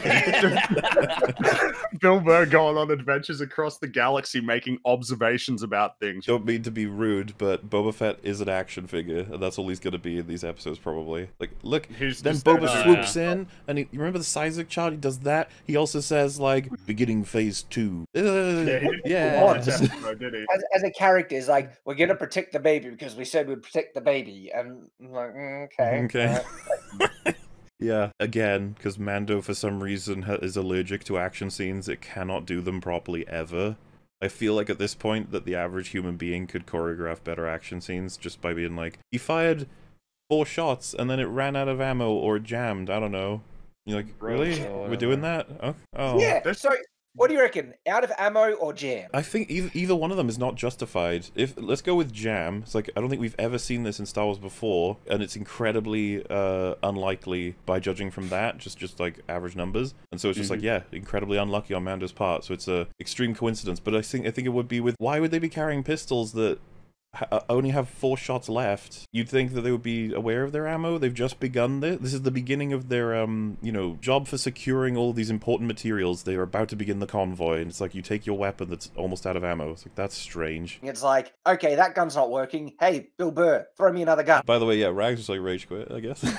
you, we could definitely call it that. He ran out of time, but I just like the idea that as soon as this the thing happened in the cafeteria, it's like, okay, I'm out. See you guys. yeah, it was, it was good timing. It was good timing, definitely. You know what? I'll probably record watching the rest of the episode once he's back with him, and that'll just be the uh, the stinger for this episode. Rags reacting to the rest of the episode or something. Like. What impact is it going to have on on Mandalorian Mando that he took off his helmet in front of people? Is there Uh, going to be any nothing. Nothing at all. Nothing, nothing at all. Um, yeah. And this is the thing, They'll you just- could make some kind of an arc here about how he's learning that that's just that's not the important part of your life. Like making sure you stick to this arbitrary creed or something. If they wanted to do that, but like, I guess that was what they were going for, right? But like, is that you know? well, with Bill Burr's commentary on it as well, yeah. But but at the same time, it's like, but he has been doing this his whole life. This is incredibly important to him. So you need to really like justify his like if that he's gonna have an That was a huge thing, and it should have a fairly strong impact. And at least if they were doing it so. right, there would have to be a follow up for him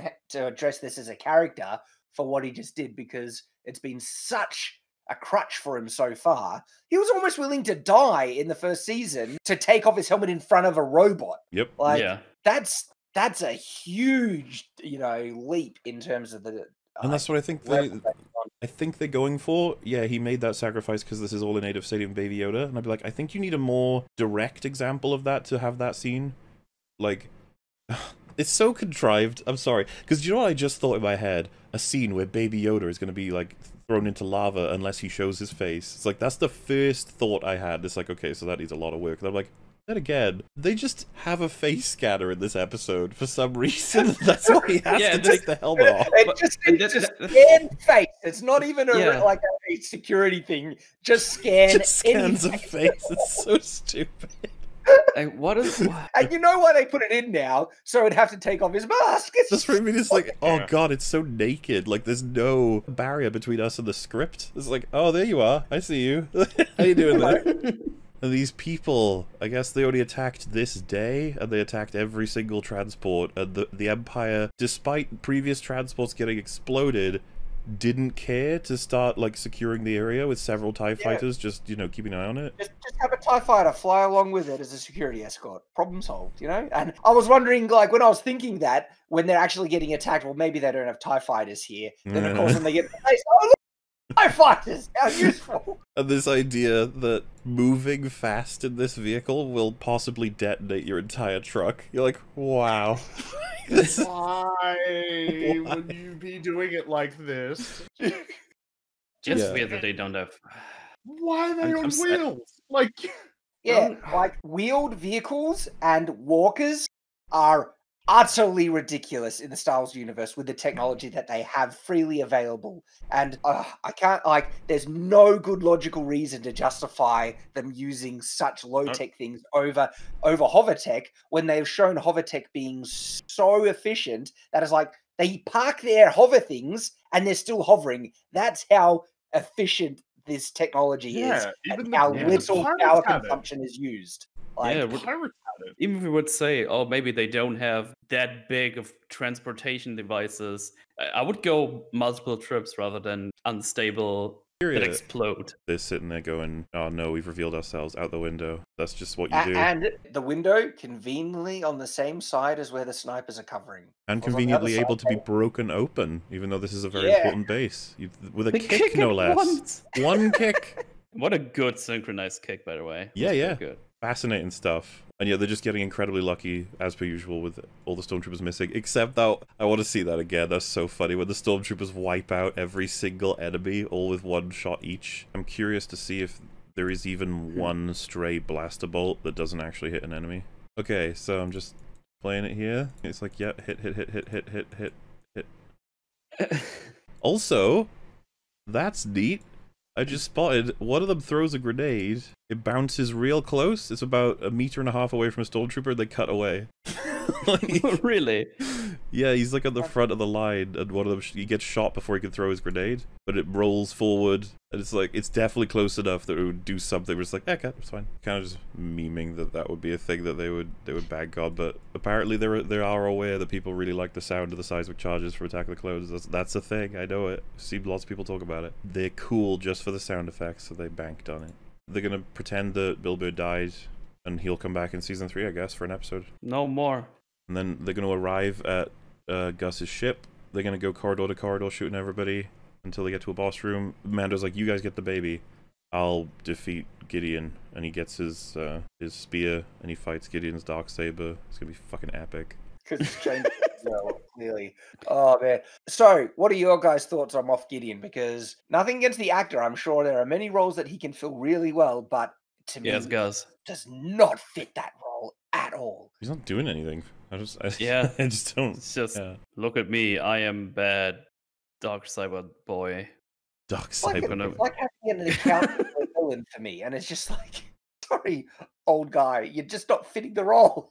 Just maybe he needs a helmet. Yeah, um, I'm hoping that the, they would give him more characterization and history and stuff, but I actually think he might die in the next episode. There's a good chance. Because he's, like, filling in for bad guy until bad guy arrives. Thrawn will, uh... Well, I, I guess that's gonna be her villain when the Ahsoka series eventually Um, eventually well, comes he could out. be. What if he's both? Right? I don't know. Like, the, the, maybe he'll he'll be introduced in Mando, and then he'll become Ahsoka's. Like, she'll kill him at the end of her series or something. And then we'll get Crisis on Infinite Star Warses. She has the lightsaber through Thrawn's chest, and Thrawn looks at her and he's like, "You have no idea what you've done." Much like I said would happen when Mando kills Gideon, because there's always more. That's the meme. There's always more. You kill Snoke, and he'll be like, "You don't even know." Palpatine's alive. And then you kill Palpatine, Palpatine's like, "Whoa, you don't know."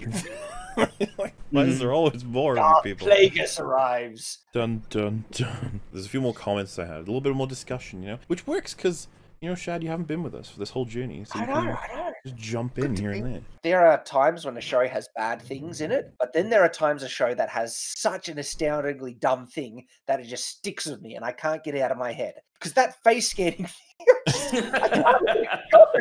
it was so stupid. Probably worth asking then, like, how do you rank this one, this episode you just saw? How? how- Honestly, I actually enjoyed this one probably the most. Uh, it's probably Bill Burr that did it, and it was just it was just fun. It was uh, overall, even though there like there are some really stupid things, I did enjoy it. I like it. Just fun, guilty pleasure, Completely and the agree with you. production was so Yeah. good. So I guess if I was There to rank it like things that consistency, pretty bad.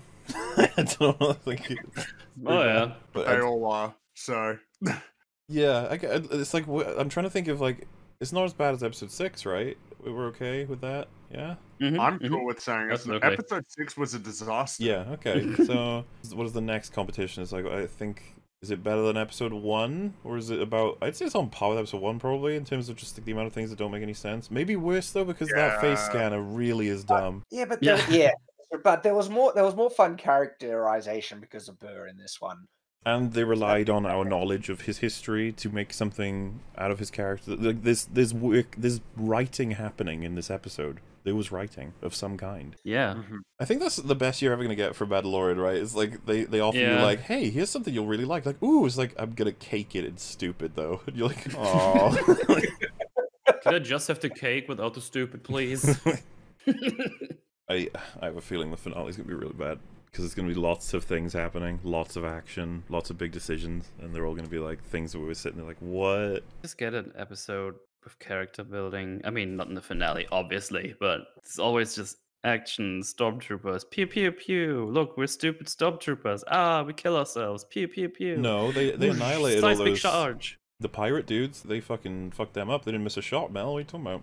Yeah, I don't know how that happened because those pirates were more more competent than all the other stormtroopers in the season so far. This is like the basic discussion of power levels, and I know that like normal viewers will be like, "What are you talking about with all this stuff?" It's just like, yeah, I, I know, I know that a lot of people don't even pay it, but like rock paper scissors style shit, or just consistent action from. I don't have stakes if I don't believe and understand the power of the people involved. Otherwise, I'm just sitting here Yeah. confused. To go back to uh, episode six, it was funny that Mando had the high ground on the hill the best armor to cover himself, obviously.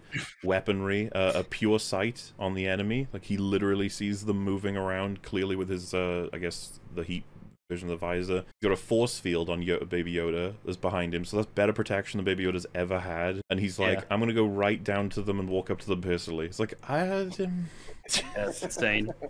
You No, have Boba Fett with wearing rags in a desert with a fucking caveman baseball bat, essentially, and he manages to fashion a fully functioning digestive system in robotic form that is then accepted by and saves a corpse in the middle of like a backwater planet. It's it's like that kind of shit. I honestly think most people would be like, eh, whatever, Star Wars, and I'd be like, no, that's major. That's that's that- Like, that- there- Even in the Star Wars universe, that's I mean- fucking insane. Think about when Vader's life was saved, right? He was in this full big medical facility with all this really high tech equipment and droids working on it and everything to attach these things. When Luke got his arm, he needed to be in a proper medical facility. Yeah, to do neither it. of them had And- organs replaced.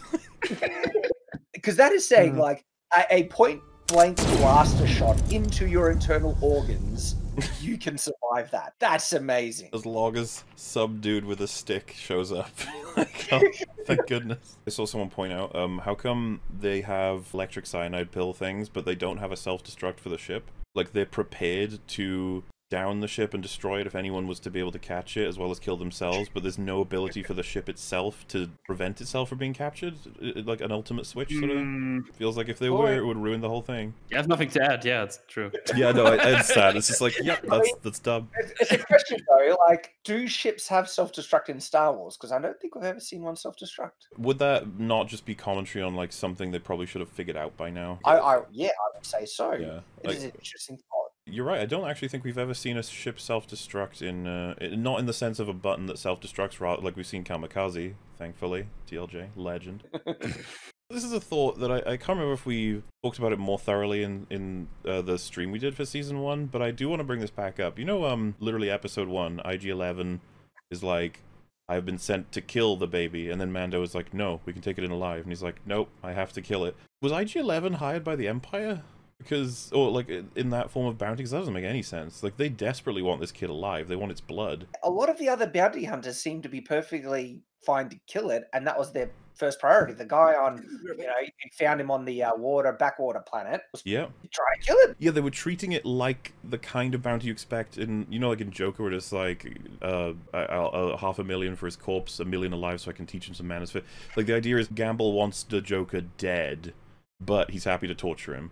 And that's how they like you. That's like the basic expectation for bounties. When everyone thinks about them, and especially in Star Wars, you'd be like, "Oh, it's probably some contract because you want a person dead." But this is entirely not that at all. This is kidnapping. They desperately want the person. There is no element of wanting it dead, from what I could tell.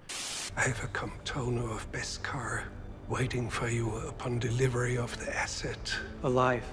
Yes, alive. And yet, um, a lot of bounty hunters are trying to kill it. Do you remember in episode two when he's um ambushed? One of them gives up fighting Mando to try and kill Baby Yoda with his, his like axe or whatever. He runs up to Baby Yoda's like, I gotta fucking kill you. Even if Mando will kill me, as long as I kill you, I feel satisfied. It's like, wow.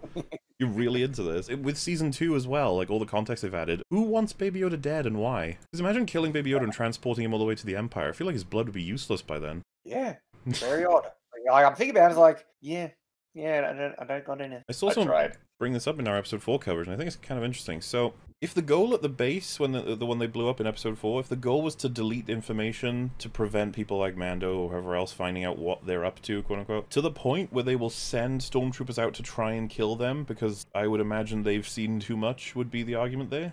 Like we got to kill them now because they've seen what we're doing at this base, probably. When do they ever that show? base kind of confused me just on a side is like they had a secure facility on that planet so why the hell are the stormtroopers in episode one hunkering down in a bunker it's like a base would be useful I've seen people talk about like how if the base existed, why didn't they take Baby Yoda straight there after the deal was done in season one? I think that's fair too. I think there's wiggle room because you could be like, why wait we can start doing it here, and they had no reason to think that Mando was going to attack them. I'm just surprised they would have the facilities to do all the testing in a in. Why would they even set it up in a basement when they had a full base with all the stuff there ready to go? Why would they do any of that, to be honest with you? Why wouldn't it just be that they set up there to get Baby Yoda, and as soon as they're successful, they would move him to, like, you know, a ship with all this stuff? Navarro hmm. is this desolate planet that's occupied by some random people. Like, why would you want to set up an Empire base there? Well, question: Is it secret? Because the locals seem to have known where that base was the entire time. It's like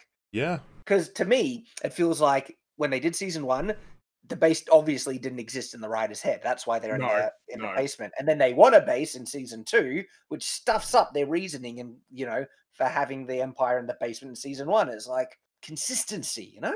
They're not a fan of that. Since when Uh, has the show cared about that? Yeah. And yeah, I, I guess I wanted to highlight if we conclude with best faith that the reason they were trying to kill them in episode 4 after they've left is because they've seen too much. It's like, why would the Empire not take any more opportunities to kill them, especially in episode 6 when they could blast them from the sky? My brain is desperate at some points. Like, why would they not shoot Boba Fett? It's like, maybe they don't want to kill Boba Fett. And it's like, but he fucking annihilated a bunch of stormtroopers. Like, why? I can't deal with this. Like, it's impossible. It's so hard to write this for them. It's like, there's just no way. Too stupid. Yes, it is. Oh yeah, And there's a- you'd think a as lot. well, after everything that happened on Navarro, that they would have moved all of this shit out of there ages ago. Like, why would you have the bases just still chilling out there after everything that happened? And it looked like there was still important stuff there. Like I guess they were working with Baby Yoda's blood. uh, They only recently ran out, right? He said the transmission was three days earlier that they'd said they've ran out of samples. I'm really interested to find out what they need from this baby Yoda blood. Like They're injecting it into people while trying to create clones of it to make force-using soldiers or something. That's my assumption. I don't know. that's the thing, right? Uh, first, it was implied that the Force was just inherent with this race, with Baby Yoda, and that that could be something that was special about this race. But now they've established that no, uh, Grogu was trained to use the Force, and so okay, what's Right. special about the race? Then? Why do they need Baby Yoda? So I'm I'm interested in that when this is finally revealed as to what they're trying to do. Very interested because I feel it's not gonna make sense. Also, I'm really curious if the Dark Troopers are going to be super effective or not. I'm curious if we're going to see, like, because they're going to get brought out in the final episode for Mando to battle, and I'm curious if it's going to be one shot to the head or if it's going to be some kind of environmental kill because they're so powerful. Depending on their power levels, and we're like, why didn't you bring them in any other fight? like. So it's bad both ways, I think, because if they're worthless, I'll just be like, eh, great. But if they're not worthless, it'll be annoying. It's a bit of a Because yeah, like first I was thinking Dark Troopers might be these genetically enhanced clones that took a lot of work to produce. But when I saw that they were just robots, it's like, oh, can't you just make robots whenever you Yeah, want? haven't we been doing Like, that for a while? Robots. you technically have a lot of these then. There doesn't seem anything special about them apart from that they have jetpacks or they can fly. They're not actually they're, what the rockets in their feet. Mm. One of the biggest problems I had with this episode, Mando jumps into the water to save Baby Yoda. This is episode three. But as soon as the cage Mhm. closes, he seemingly forgets all about Baby Yoda and flails around like a tism. Then later, Sasha rescues him easily, barely an inconvenience, I believe the saying goes. Why was Mando i- unable to do the same thing? Why did he flail around? Wouldn't the priority always be Baby Yoda? Why did he resurface and cling to the bars when he should have been down there ripping that monster apart to get the baby, especially considering his weaponry? Yeah, it's interesting. Whenever they introduce a new character, that these new characters make Mandalorian look more incompetent because they come and do something that he was struggling with, and they just do it easy. They wreck it. It happened with you know, um, uh, I forget her name, but the female Mandalorian, and then with Boba Fett as well. It's just mm, okay. I think we brought it up. It was just like when he's grabbed the bars, uh, whistling birds would be perfect for that. It's gonna go through the Oh, yeah. bars and it's gonna hit all of those dudes, but he just doesn't because he's Mandalorian. You're Yeah. right. Now there's a, a question hanging in the air because we've seen him use the whistling birds often, um, and they're really effective. It's like, why doesn't he use them in so many of these other situations when it's going to be useful? Hey, he'll It's threaten just- to use it on Boba Fett, guy with a stick. He's like, "I'll use him. Don't make me." it's like, okay. I like how he says to them as well. He'll drop you like so quickly. It's like the whistling birds take a few seconds to reach their targets, so Yeah. you know. This is just a music interaction. This is all the Discord, okay? What bothered you guys so much about episode 6? Basically everything. It's like, come on, be more specific. So to start off, Oh, the no. fight choreography is atrocious. The Empire isn't formidable at all, and Mando, Boba, and Sniper Lady all make incredibly stupid decisions that they only survive because the Empire is slightly more stupid than they are. On top of that, the deal with Boba tries to strike with Mando is really stupid since he has absolutely no leverage, and Mando is too stupid to realize this, so he just goes along with it. Mando also drops his jetpack, but then decides to forget that it exists at all. As soon as the Empire shows up, Mando also forgets to lock his ship, which has been established he can do, and this is important because it allows Boba to get his armor back. Boba decides rather than to be the bounty hunter slash merc he's been established to be, he's going to be honorable and help out Mando. He says it's because he was paid by the armor, but that wasn't payment. He took it from Mando, and Mando just said, okay, I guess it belongs to you. Mando is also still one of the worst fathers slash babysitters out there, and while we're supposed to believe he actually cares for Grogu, he makes incredibly stupid decisions and leaves Grogu in a vulnerable spot which allows him to be taken. Is that specific enough? like, yeah, that covers some of the criticisms of that episode, you know? Some. Mm-hmm. That's important to note. Some. Because we'll probably talk for a little while eventually about like which is the worst episode. It's gonna be between episode six of season two and episode four of season one. It's like these two are just Disasters. staggering. Four was the ATST one, right? Yeah. Yeah. Okay. okay. EFAP Ah. crew have become haters for hating's sake. They are incapable of having fun. The uh, Man. soup hugger scene was hilarious. What the F happened to you guys? 90% of your criticisms are made up with no actual substance. It's an amazing show, and you are failing hard. Man, the amount of incorrect things. We're having tons of fun with this show for starters. Yeah. Right? It's I worth mean, keeping that in mind. hater's sake, right? Hang on, hang on. Because I've said more. I enjoy the show. I like it. Okay, I mm-hmm. prefer that. I have the Mandalorian. If not, I really enjoy the fan service in it, and I love the production values. So, but I can separate that from an objective view of it and point out the problems because there are massive problems. Massive problems. Yes, I like the idea Um, that ninety percent of what we've said have no substance. Like, damn. What is the 10% that does have substance? I'm curious. Yeah, I wonder. And then to follow up with, it's an amazing show. I'm like, oh, I just I just love the ignorance in this. Like there's so much fucking things that we like that we point out. There's m- movies, things you like, like the, the fucking Lord of the Rings. You guys watched all the Lord of the Rings? Was I mean, like, I I'm do just- like things. like, it's worth noting. Uh, This is the type of reaction that comes from someone when something they really enjoy is being criticized. Yeah, and it's pretty much. usually and it comes from the thing where where that mistake what people have where they conflate if I like it, it also must be really good quality. It's like no no. It's okay. Like it's fine. Nobody nobody cares if I like Venom. Venom's an absurd, stupid movie. Right? Nobody's gonna flay you because you like something that isn't very good. It's fine. All right? Mm-hmm. So this next one, there's no need to respond to any of it, okay? But it has to be read on. We I've read this on Metal Stream already because it's so funny. I'm just gonna go Oh. through it all. I'll post it so you can tell when I'm done, and you may comment on whatever part you want once we're done. But it's it's such a ride. So here goes. I am saying that the Mandalorian, uh, just as bad as each of the Lord of the Rings movies. Even if most of you Tolkien fans don't want to believe it, the Gondorian soldiers do not know how to fight, and when they do, they are following a murderer. Gimli, Bloom, and Mortensen bringing the dead men of Dunharrow to Minas Tirith makes the whole Rohirrim charge and killing the men and the orcs completely pointless. They could have come a half an hour before and would have also murdered all of the men and the orcs in Mordor. Jackson and the filmmakers love to rip off countless other video games and movies so that they are not racists when they are the true racists. For example, the Diablo with the Balrog, they ripped off Pirates of the Caribbean and Ghostbusters with the ghosts. They also ripped off the prequels with the CGI Gollum, etc. What can Still- you say? still It's just funny. gibberish. You're like, um, layers to that. Like when you showed this to me on Metal Stream, I yeah, I half thinking this has to be a troll because of how um yeah. It has to be, right? so disconnected from existence. and you're like, "Wh- wh- what? Racist?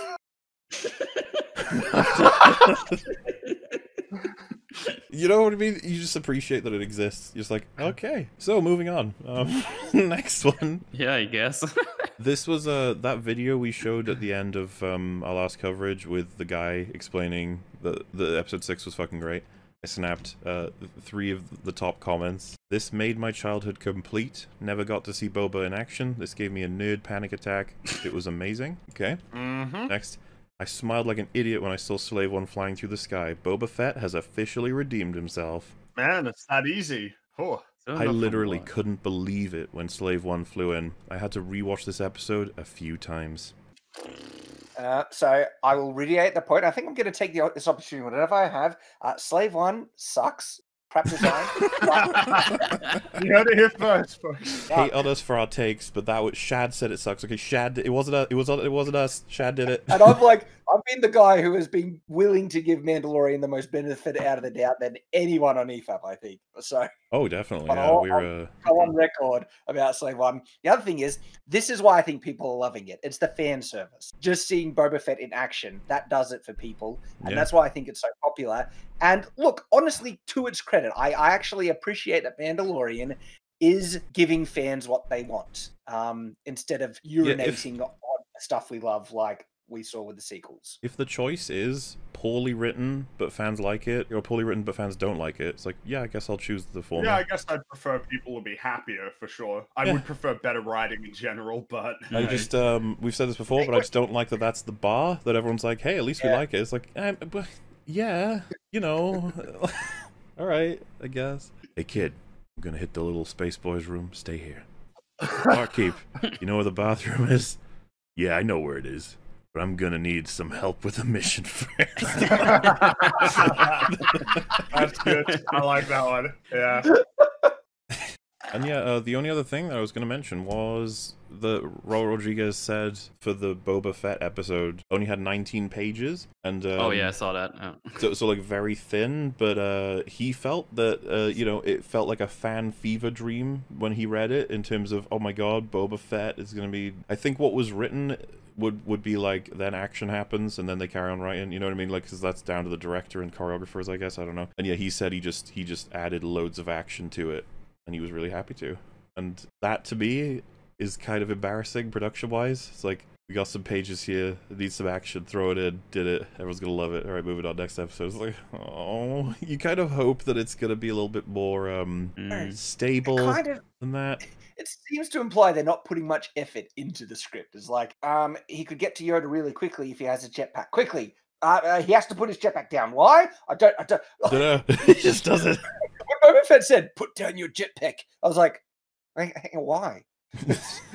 like, maybe take off your whistling birds. They might be more of a threat. but the- the Absolutely. He activates them in a split second. They can kill anyone. It's like maybe maybe ask him to take the gauntlet off. I don't know. Yeah, like if he takes the gauntlet off, he loses the control for most of his armor stuff. That might be the right thing, but the jetpack, okay, because uh, that's what you're saying. That's like exactly one of those moments where more you're saying this is the script saying, "Oh, hi, I'm here. This is Yeah, because we do it in our recording. We're like, why would he want him to take the jetpack off? It's like, what is this? What is this tied to? Is this going to be relevant? Like, does he need the jetpack for something else later? And funnily enough, that what we're imagining in that moment is better than what we got, which is yes, but there was nothing stopping him from picking it back up. I know. so he just decides not to put the jetpack on, which is really useful, you know, to get to cover quickly and all these things. And he could call it back to him at any time, and it's just like, uh bonus meme. It's just Bonus memes. Now, Yeah, bonus. yeah, yeah. Th- this is me watching from the table shooting thing on. It's it's all fresh for me. I had to leave, so this is all new for me. We will. So I can't wait simply to see how they. There's things I've discovered, clarifications to make, and uh, more criticisms to add. But we'll get to them once the That's episode's over. I was coming up with stuff in my head all through the day when I had to leave. All, all through that night, I was like, "Whoa, wait, wait, wait, wait, wait." Yeah. So, um, yeah, Is order. And when they realize that, like this is the episode that's come the closest to approaching like a concept. Yeah, yeah, and imagine how incredible this payoff would be if Bill Burr was a main character, and we'd learned all about this shit. But never mind. Dude, the amount of time. it's like 20 seconds. That guy isn't even That looking at him in the back. nothing. He's not even He's looking at him. He's, Yeah, and he's, they all he have- did nothing. Hey guys, remember all- the thousands of people in the room adjacent to this one? Yeah, they Well, just Yeah, who gone. all heard this. The show. It's isn't- important that you put on this helmet, Yeah. and it doesn't matter now. You've already seen them. It just it's like when you take a picture or when you've been recorded and you try to. Oh, there's three. What three. took them so long? Why are they not shooting? They're just running in to die. Oh my god. Oh, good thing there's enough room to actually walk out here. Yeah, otherwise that would be the end for you guys. Look, we're nearly here. This I showed this guy to Jay now. This here he comes. This guy.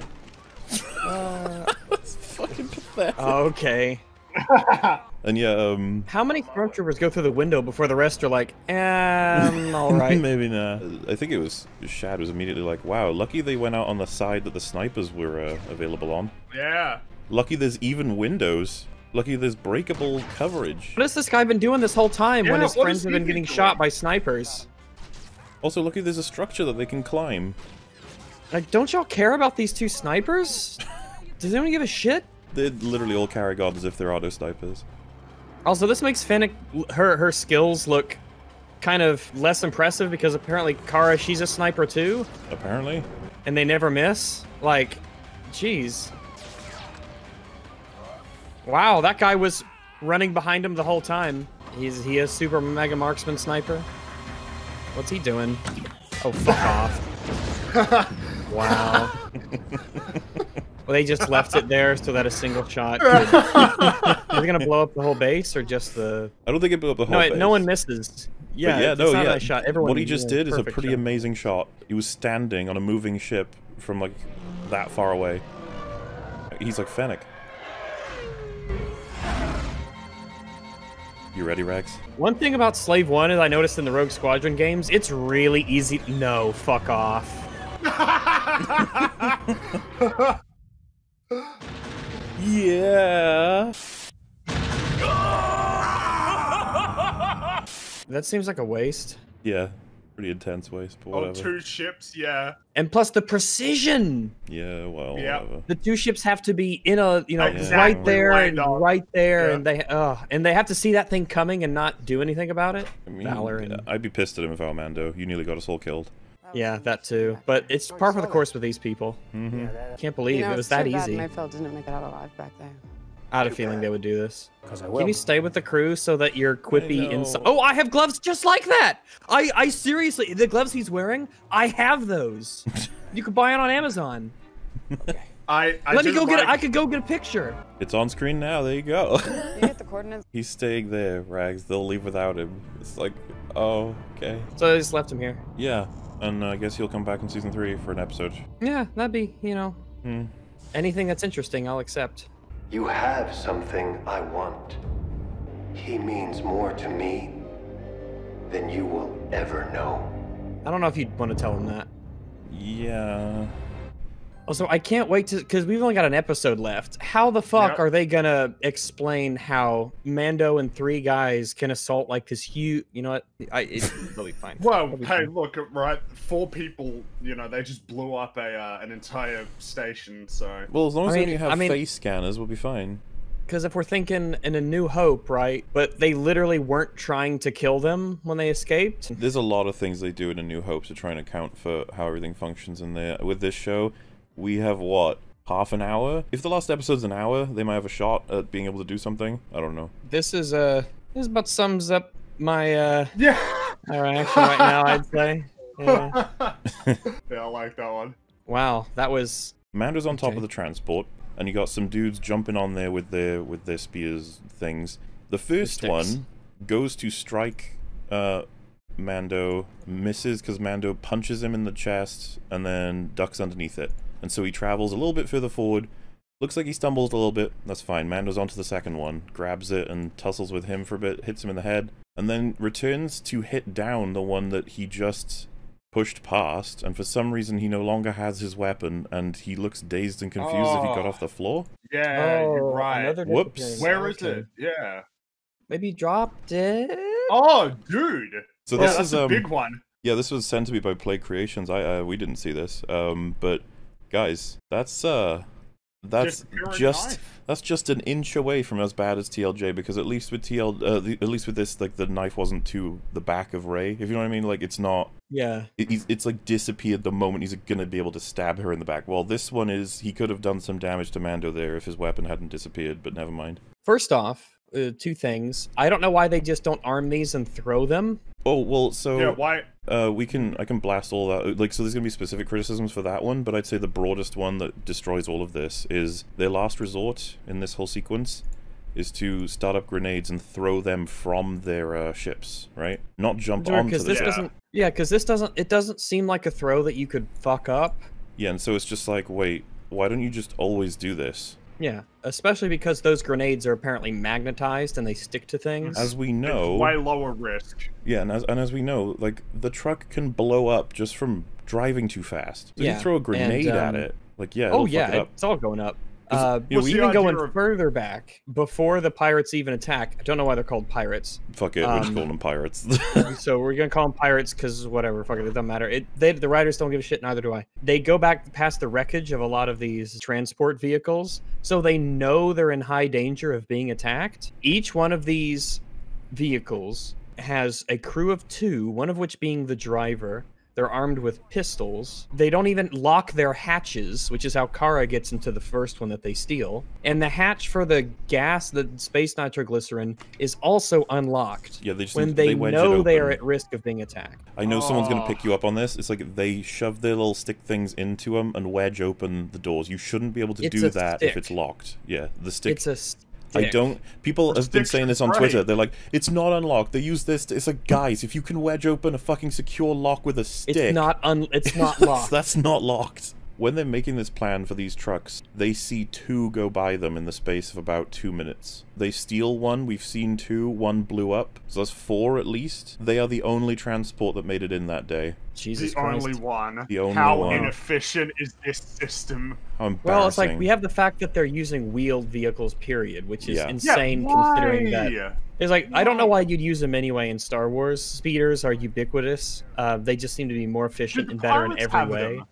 Yeah, and have hovering things. and if you're carrying space nitroglycerin, which and if you jostle it, it explodes. You should not be using a wheeled vehicle. You need to be like floating in the air safely without any terrain to wobble you around or shake you about. Another thing before I forget, uh, the pirates, uh, the first guy on the pirate speeder, one of the guys hops on, and then another guy proceeds to hop on as well. Like, why is the second guy hopping on? You know what that first guy's doing, right? Needs help. He's about to blow that. He's gonna about to rig that thing to explode. Why are you also jumping on? And there is a huge amount of time where he just isn't shooting them when he should be. He should be popping them off those uh, those speeders, and he just isn't. He's just watching them, and he lets them jump on, and he's just not pow pow pow killing them. It's like the one situation. If a, he had a blaster, there's just no threat because it's and just it's like the boom, boom, boom, boom, boom. one time they're armed with sticks. They have no cover.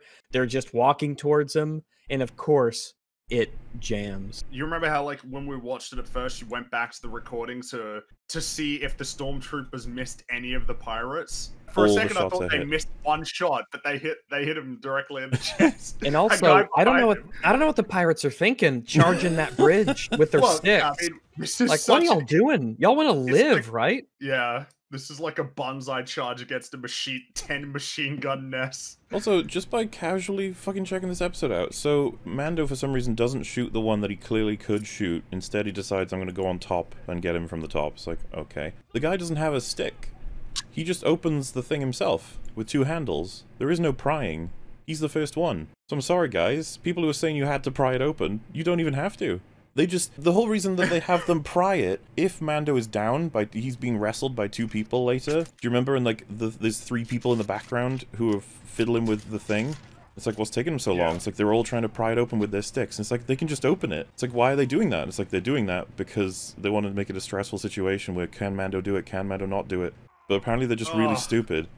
There's literally handles. it's not locked. This fight is, and it looks like they open it with like the stone tips of the spears with stone tools wrapped to one end of them. Is bizarre to me. I mean, at least Um, some of them are at least are blades. I just got a shot of it. Like they like they they stick the the stone tipped spears Oh my god. into this lo- into this metal this locked metal panel on this this advanced space vehicle. They just open it up, I guess. That's so embarrassing. You th- you know someone designed that and was like, "That's so cool, right? Aren't these weapons interesting?" It's like, Oh my god, that's terrible. Interesting. This is like the first weapon that mankind created. the spear, uh, the the sharpened pointy stick, and then they're like, let's tie a rock to the front. Also, this one guy comes up here, and he's got his uh, rock stick, and he hits Mando's shoulder, the the, the shoulder pad, and it shatters. Yeah, just shatters. He hit it with a rock. He I'm hit it with like- a stick and a rock. I have a question. Why wouldn't you store these things uh, vertically and not horizontally? yeah, that might be a good idea. Like, because whenever I have, uh, is it gas or is it a liquid? I mean, I either no way, idea. you'd think that it's just really odd that they're stored at the very, very top here on a panel horizontally. Because if you don't want it to shake around or anything, you obviously you store it vertically. Whatever. So yeah, I just got I've got assorted criticisms, uh, just a couple, but I think we may have brought it up in passing. I can't remember. Just gonna make sure. Mayfeld, um, he's like, oh, that guy's gonna recognize me. Abort mission. It's over. And like, first thought, I, th- I think we brought this up. It's like just put your helmet back on and take it off for the scan. That's all you need to do. But secondly, is that the only terminal in the entire base? It's in the cafeteria. Like, yeah, it's in the cafeteria. It's got the battle plans for the for Moff Gideon's starship and everything. It's there in the cafeteria. the chances of his uh his commander being in there, oh, incredibly wow. unlikely. Wow, that's uh that's And- some bad luck, I suppose. And then it's he doesn't recognize him. You're like, oh my god, there's so many things that. Oh, all right, yeah, these are. Um, hmm. Uh, something I picked up when I was just checking out uh, pieces for the editing already was uh, the scanner doesn't just require a face. Okay, it requires a face that can be recognized as non-blacklisted by the Empire. Which is not everyone who isn't in the Empire. So, for example, you and I could get in pretty easily. Yeah, because yeah, even though we're not part of the organization, as Um, long as we have a face, Yeah, so uh, so I was like, that's the prerequisite. the criticism doesn't change at all because the amount of people who are like evil according to the I don't even know what database they're using for this and how they sort of figure this out. It is incredibly stupid that your security system has a face scanner that only blacklists like criminals according to the empire and that's it and then it gives you access to sensitive information. It's like what else wh- how is that in any way defensible? You'd think that scanning the face would give you a particular level of access. It'd be like, ah, private gonzo or general person, and, and you know, depending on that, whatever happens. And it's funny because I thought that was the whole point of bringing Bill, Bill Burr along. It's like, oh, we need Empire Bro. Because uh, they didn't need him at all. They could have just spoken to him in that prison place. Been like, hey, how do you get, you know, information X? And he could be like, oh, access terminal and download the, the coordinates or the, the whatever for the ship. You just need a face that isn't recognized by the Empire as a bad man. Okay, bye, Bill Burr. Like, we don't need you at all. Yeah, um of all the things to do, an Imperial terminal. So I guess the base on Nevarro's destroyed or something. Every terminal there is gone, I'm sure. I guess yeah, so I guess there was no terminal in the hideout where the client was uh was, you know, hanging around. Yeah, I'm sure there wasn't. Whatever helps make this story less Um, weak, I'm sure that was the case. Yeah, like this was the this is what the option they went uh Well- the, the option they went for. The other funny Uh, part is like he's like, "Oh, you're gonna need a terminal. There's there's one on this planet," and it's like, "Any other options?" Or is, is it just we're just doing that? yeah, it's like can we can we even explore other options as if they exist? Because when you think about our plan is to miraculously steal this thing very easily that we should not be able to do. But like what if you get asked who are you? What are your orders? What do I do when I get there? Where do I pull up? Hey, Bill Burr, you- I, as Mando, might be asked what my chain code is, or what my operation number is, or what group I'm designated with. Could you tell me how I'm supposed to answer questions like that? Lucky that only comes up the once, and then Bill Burr ruins it all because Bill Burr's like, oh god, it would be really bad if we were captured, but also I really hate this guy, so I'm gonna shoot him. What we saw on the screen is like you explaining an arc casually to a friend about an idea you have. This is like um, a 12-year-old game master designing a mission for his players. it always reeks of this this potential that is never capitalized on. It's a shame because not only is Bill Burr a pretty decent actor, um, his addition I to think this, so. Um, he's surprisingly good for Yeah, a comedian. And, I- and, I- and it's really sad because like his, we desperately need his attitude in this show. yeah, we need someone to just be like, well, even though he should be doing it way more, I'm so glad we got what we got. I'm so glad that he's he said things like, you know, the mask thing and his general attitude, his his second guessing cynical nature because it's the only thing approaching a character that we have in this show. Yep. Mando doesn't have one, Cara doesn't have one, Fennec doesn't have one, Boba doesn't have one. Greef doesn't have one. So it's like none of these characters are characters. They're all basically interchangeable. That's it. You Bring on episode 8, I suppose. Hopefully I can get this edited before we watch that one, and that's our big finale then. It's so disappointing.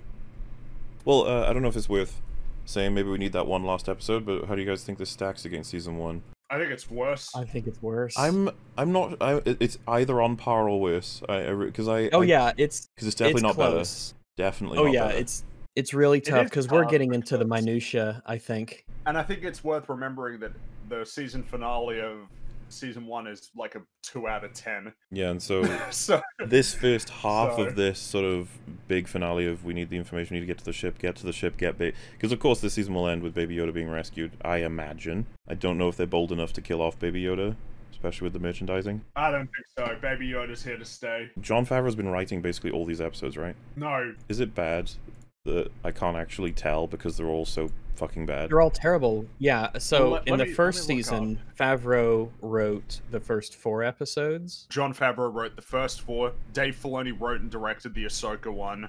Jon Favreau wrote episode six. That was Robert Rodriguez. And this one was directed by Rick Famuyiwa. I think he was one of the directors from season one, too. And he wrote it too. The last episode is written by Jon Favreau. It says. I don't know, man. He's phoning this in hardcore. But, like, this is all he's do- doing at the moment, isn't it? Like, dunno. this is his thing. I think it is. I mean, he, he did Lion King, but he's done with that. I think he's doing Star Wars stuff now, right? Well, either way, people consider it the savior of Star Wars right now, so good for you. And uh, I look forward to seeing whatever you produce for episode eight. It's gonna be wonderful. But yeah, every episode of season two is not cracked to five. One that came closest was episode probably. five, yeah. Yeah. but that's mostly just because it didn't have as much wrong with it. Not that it did more right. Yeah, It well, was really boring. It had less wrong I with it feel like because less happened. Pretty straightforward. Yeah, that's episode. true. It was very straightforward, which is An improvement upon everything else, but it was still pretty bored. Because this is the thing: a well-written Batwoman episode would probably look like that in terms of uh, there's just like Kate Kane's talking to somebody for the whole episode. We're like, well, yeah, there wasn't much to get wrong because of course the battle still pretty much sucked in the Ahsoka episode. There's a lot of stuff when you slow it down that's really fucking dumb. Which is the same for every fight in Mandalorian, so I don't know why I even mentioned that really, I guess. Uh, everybody operated in mostly a normal way, and it's the story of freeing a town. Nice and easy. Just kill a despot, I guess. the Empire is worthless in this, and this episode accents uh, just further the issue that was present in season one and has been prevalent in the season two. The Empire is worthless. They can't hit any. The, the, the plot demands that they be ineffectual. Everything about how they act, how they behave, what their strategy is, what their equipment they use is, it makes them look like the biggest blundering fools in the galaxy. And I can't feel I, I feel no sense of elation when our heroes succeed. Their triumph me- means nothing. It's like I said before, if you if, if your if your opponent is a third grader, then you don't you're not cool when you beat them. You're not you're not skilled when you overcome them. If you don't have competent enemies, imagine the movie Zulu and all of the Zulu were like stormtroopers. That movie would suck. You want to make your enemies ferocious. You want to Well, make them you know, deadly. It is expected that the good guys will win, but that doesn't mean that the enemy are worthless. Well, yeah, I I want to see the good guys. Have Like to if the fight good, for their win. yeah, they have to earn it. Not Well, um, I, I, I- think the dichotomy comes in that they need a force to battle, but they also need to beat them, and so this force has to be huge because they have to it has to be so insurmountable. But at the same time, they win. So it's just like the, it just constantly generates these scenarios where the, the stormtroopers are embarrassing. A lot of people are using the argument. I, I know you guys have heard this, where it's like uh, the stormtroopers are consistent. They've been awful now for years. It's like No. okay, so that's not even even if it were true, it wouldn't be a good argument. Like as in like it, they keep getting presented as bad, therefore it is now consistent. It's like no, these are trained soldiers. You don't ever get away with this. these are these are stormed. And remember, like we had in episode four, where you had the random accountant going around killing stormtroopers. Yeah, and I just want to say though, but like their argument doesn't even stand up because of the um what 1 2 3 4 5 6 7 8 9 10 11 12 13 14 15 16 17 at least 17 pirates that are gunned down without missing a shot. Like sorry. this- Yeah, stormtroopers are selectively they're selectively skilled. It depends on the context.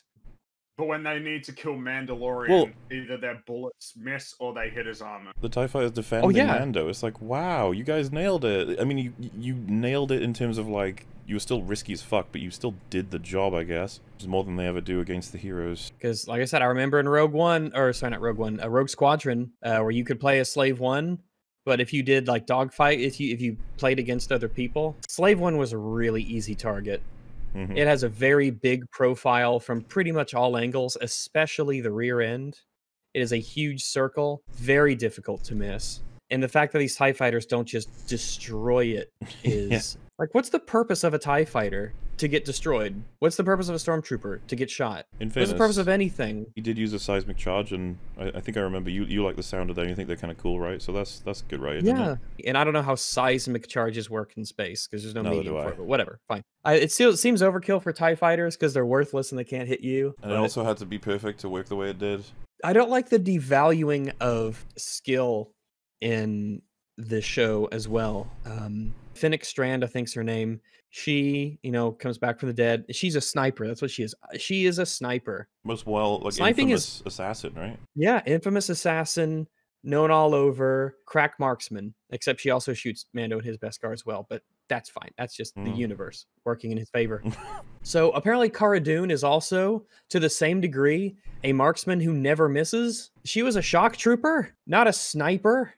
Those are two completely different skills. Is everyone mm-hmm. just good at everything? They're good at everything when they need to be. And I, that's This is one of the things I I, feel think they miss out on. It's cool to have characters who are good at one thing and then bad at at other things. Well, I mean, what was the point of Mass Effect if, like, the whole point is that each person on the team had their unique skills? Yeah, I am good at doing this, so I will utilize my skills in this mission in this way. You are Yeah. good at that, so you do this. That's Um, the whole point of like teams is the idea of individually we each bring something to Yeah. the table that contributes to a broader whole. I mean, that's what the Avengers is, right? Yeah, Yep. it's like a it's like a uh, choosing your class in a video game, right? Yeah. It's it, or building it- your party, you know? yeah, Like, exactly. You, you don't want to you know triple up on snipers. You want to have you know you want to be able to cover all your bases and everything. And Yeah, like when I you just- fight the Elite Four in Pokemon, you know, you got like your water types and you probably have a fire type just to make sure you cover all your bases. And then, you know, you get like a dragon. Type, Uh, and, you know, um, you get your dark type. Just again, Dragonite. cover all your bases is the point that we're trying to make.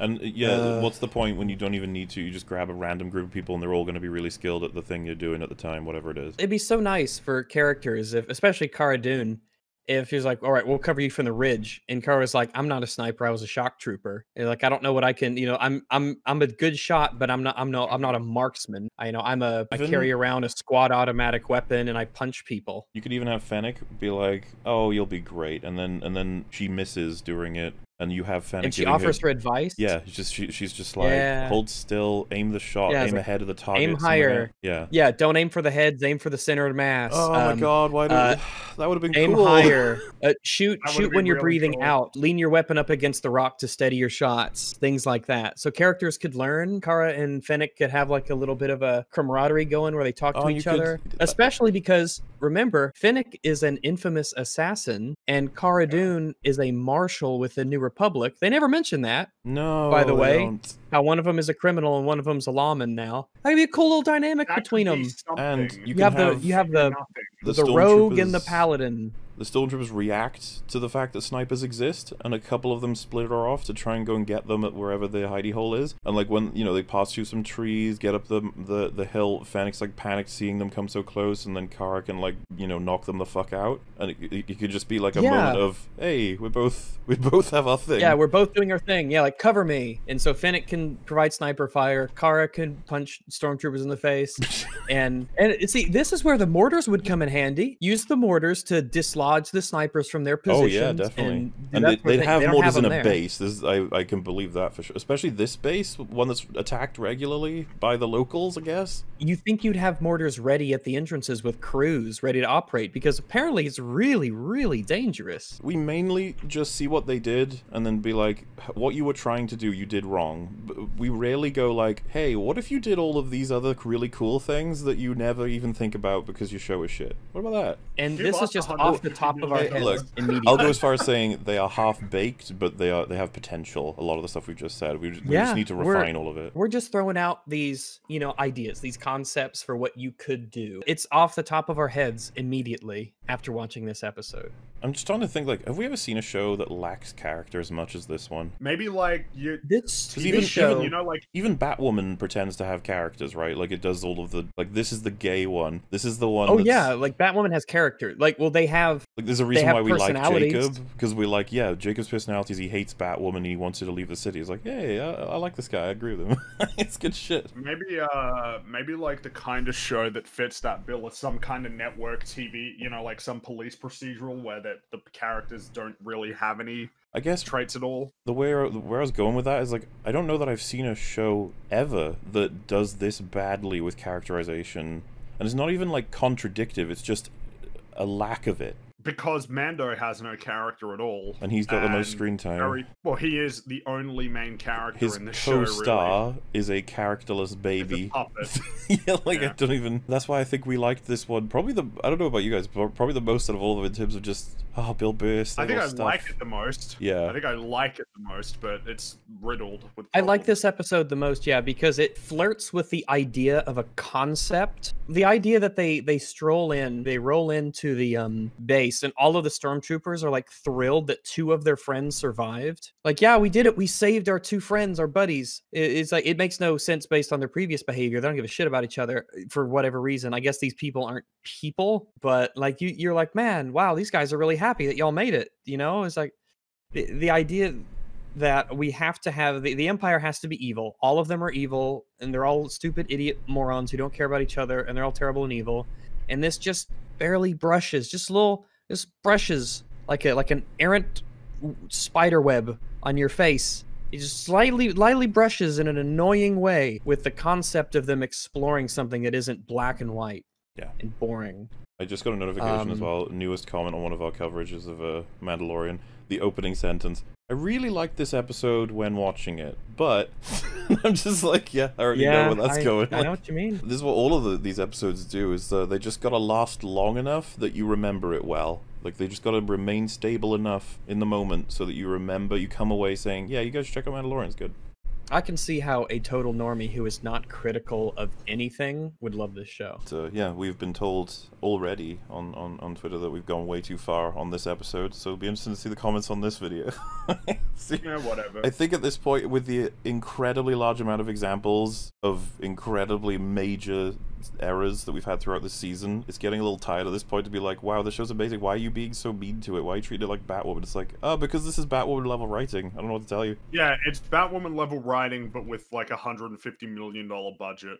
And like, at least with Batwoman, it's more exciting. It's funny. There's always something going on. Um, And Batwoman, I can't believe I'm saying this. Batwoman tries to have themes. It does. It really fucking does. It actually does try. It fails miserably. And it's so cute fail how they try. And I love it. But they try. God bless their hearts. They try. Like this episode is going to be about identity. This one's about duality. This one's about like the concept of growing up. This one, and it's like you see it on its face, and it's like, oh, that's cute. They'll have the characters going through similar things to try and represent it. But like, I can't for the life of me pull out anything of any of the Mandalorian episodes except this one. This is the only one where it's like, hey, there's something going on here, actually. it would be really weird to have something go on at this point because Yeah. it would come from nowhere basically um and it would be shocking and strange i want them to try trying let's think batwoman tries and fails and that's part of what gives it its incredible Charm. its Yeah. charm batwoman is charming it is so really is. wonderfully cute how they try we are getting closer and Um, closer to seeing more Batwoman. I guess that's the Wow, end of just, bonus uh, meme, which is probably half as long as the full video. so it's like, hey, I like they do like the video ads. They're like, "Want some more commentary? Here we are." It's like, all right then. Uh, episode was really bad. It ranks probably as like on the lower end. I think seven. Uh, this is going to get worse the more you think about it uh so yeah five and two are at the top wait yeah for this is objectively five and two are at the top and then in the middle we have three one and four which And i think are somewhat interchangeable somewhat. and then Yeah. at the bottom we definitely have six and seven easily at the bottom I'm curious no if eight is going to uh eight. Like things are gonna happen in eight, man. So will it be the worst one? Could be.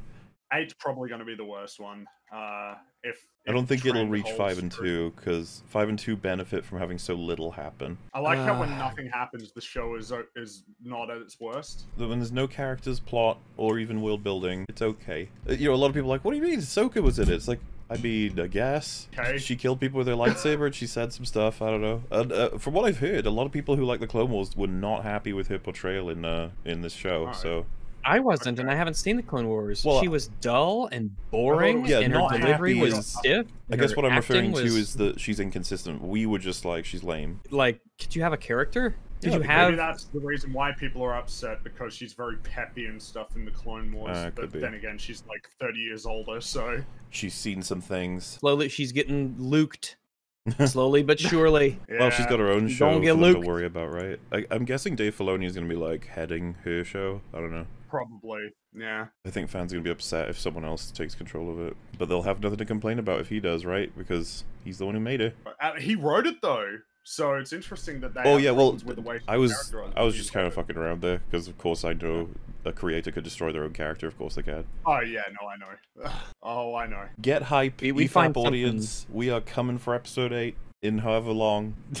See you there, I suppose. I don't know. Yeah, everyone, it's gonna be great. We'll see how episode eight stacks up. We'll see how uh, how dumb the Empire is in the next episode. How Baby Yoda gets maybe rescued. Hopefully, Mando dies, and we get to follow Boba Fett around. Thing, but Bill he's Burr, sort of comp- you know? or Bill Bill Burr Burr. and Boba yeah. Fett I want to see what he gets up to on that planet. Where does he go? What does he Dude. Where do? does he go from there? It's amazing how they make combat so boring. They do make it quite boring, don't they? Pretty lame. You can you compare this with all the other stuff, and you're just it's so boring for how much they lean onto the action and rely on the action. It's Yeah, all there's like so two bad. action set pieces every episode. and they're all bad. Oh, uh, they're all dumb. That's something worth mentioning, right? It's like these are incredibly formulaic at this point. These episodes. Yeah, usually there's like some kind of opening hook, and then there there'll be a little bit of dialogue, then some kind of action scene pretty quickly, and then there'll be some lull again, and then like another big action scene where there's a big explosion at the end, and the good guys win. And hopefully, Mando will have obtained a small amount of uh, material or information by the end of the Or episode. information that takes him to his next location. Yeah. Welcome to every episode of The Mandalorian, guys. And remember, we referred to season one as filler. Like it was, it was a season. You could probably skip it was most half. of it. It was half filler. Yeah, half the episodes had really nothing to do at all with the plot. and even the ones that did, not much of the episodes themselves were. It's it's not hard to like, yeah. And so season two, because I was about to say like, is season two the filler season? It's like we already had one of those. We're doing great anyway. Bye. Bye, everyone. Toodaloo. See you later. But that's yeah, that's all I've got. This is probably going to be the longest of uh, all the Mando episode coverage, and Ooh. it's not even that long until the next one comes out. I got a lot of editing to get going with. Uh, Well, anything else on it, you anybody lazy wants to shit. wants to talk about before we say goodbye to the precious EFAP audience? We like things. Stop saying we don't.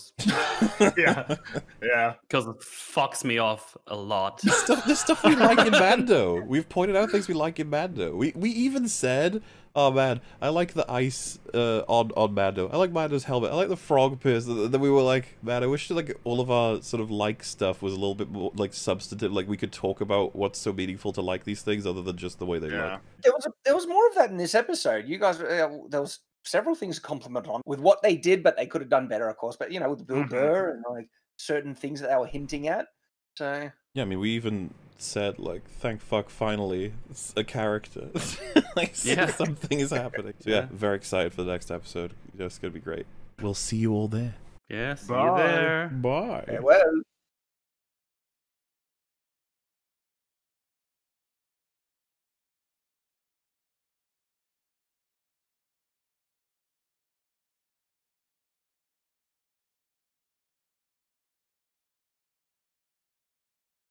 Why would someone at Hamilton want to ambush the convoy? What'd you bring me?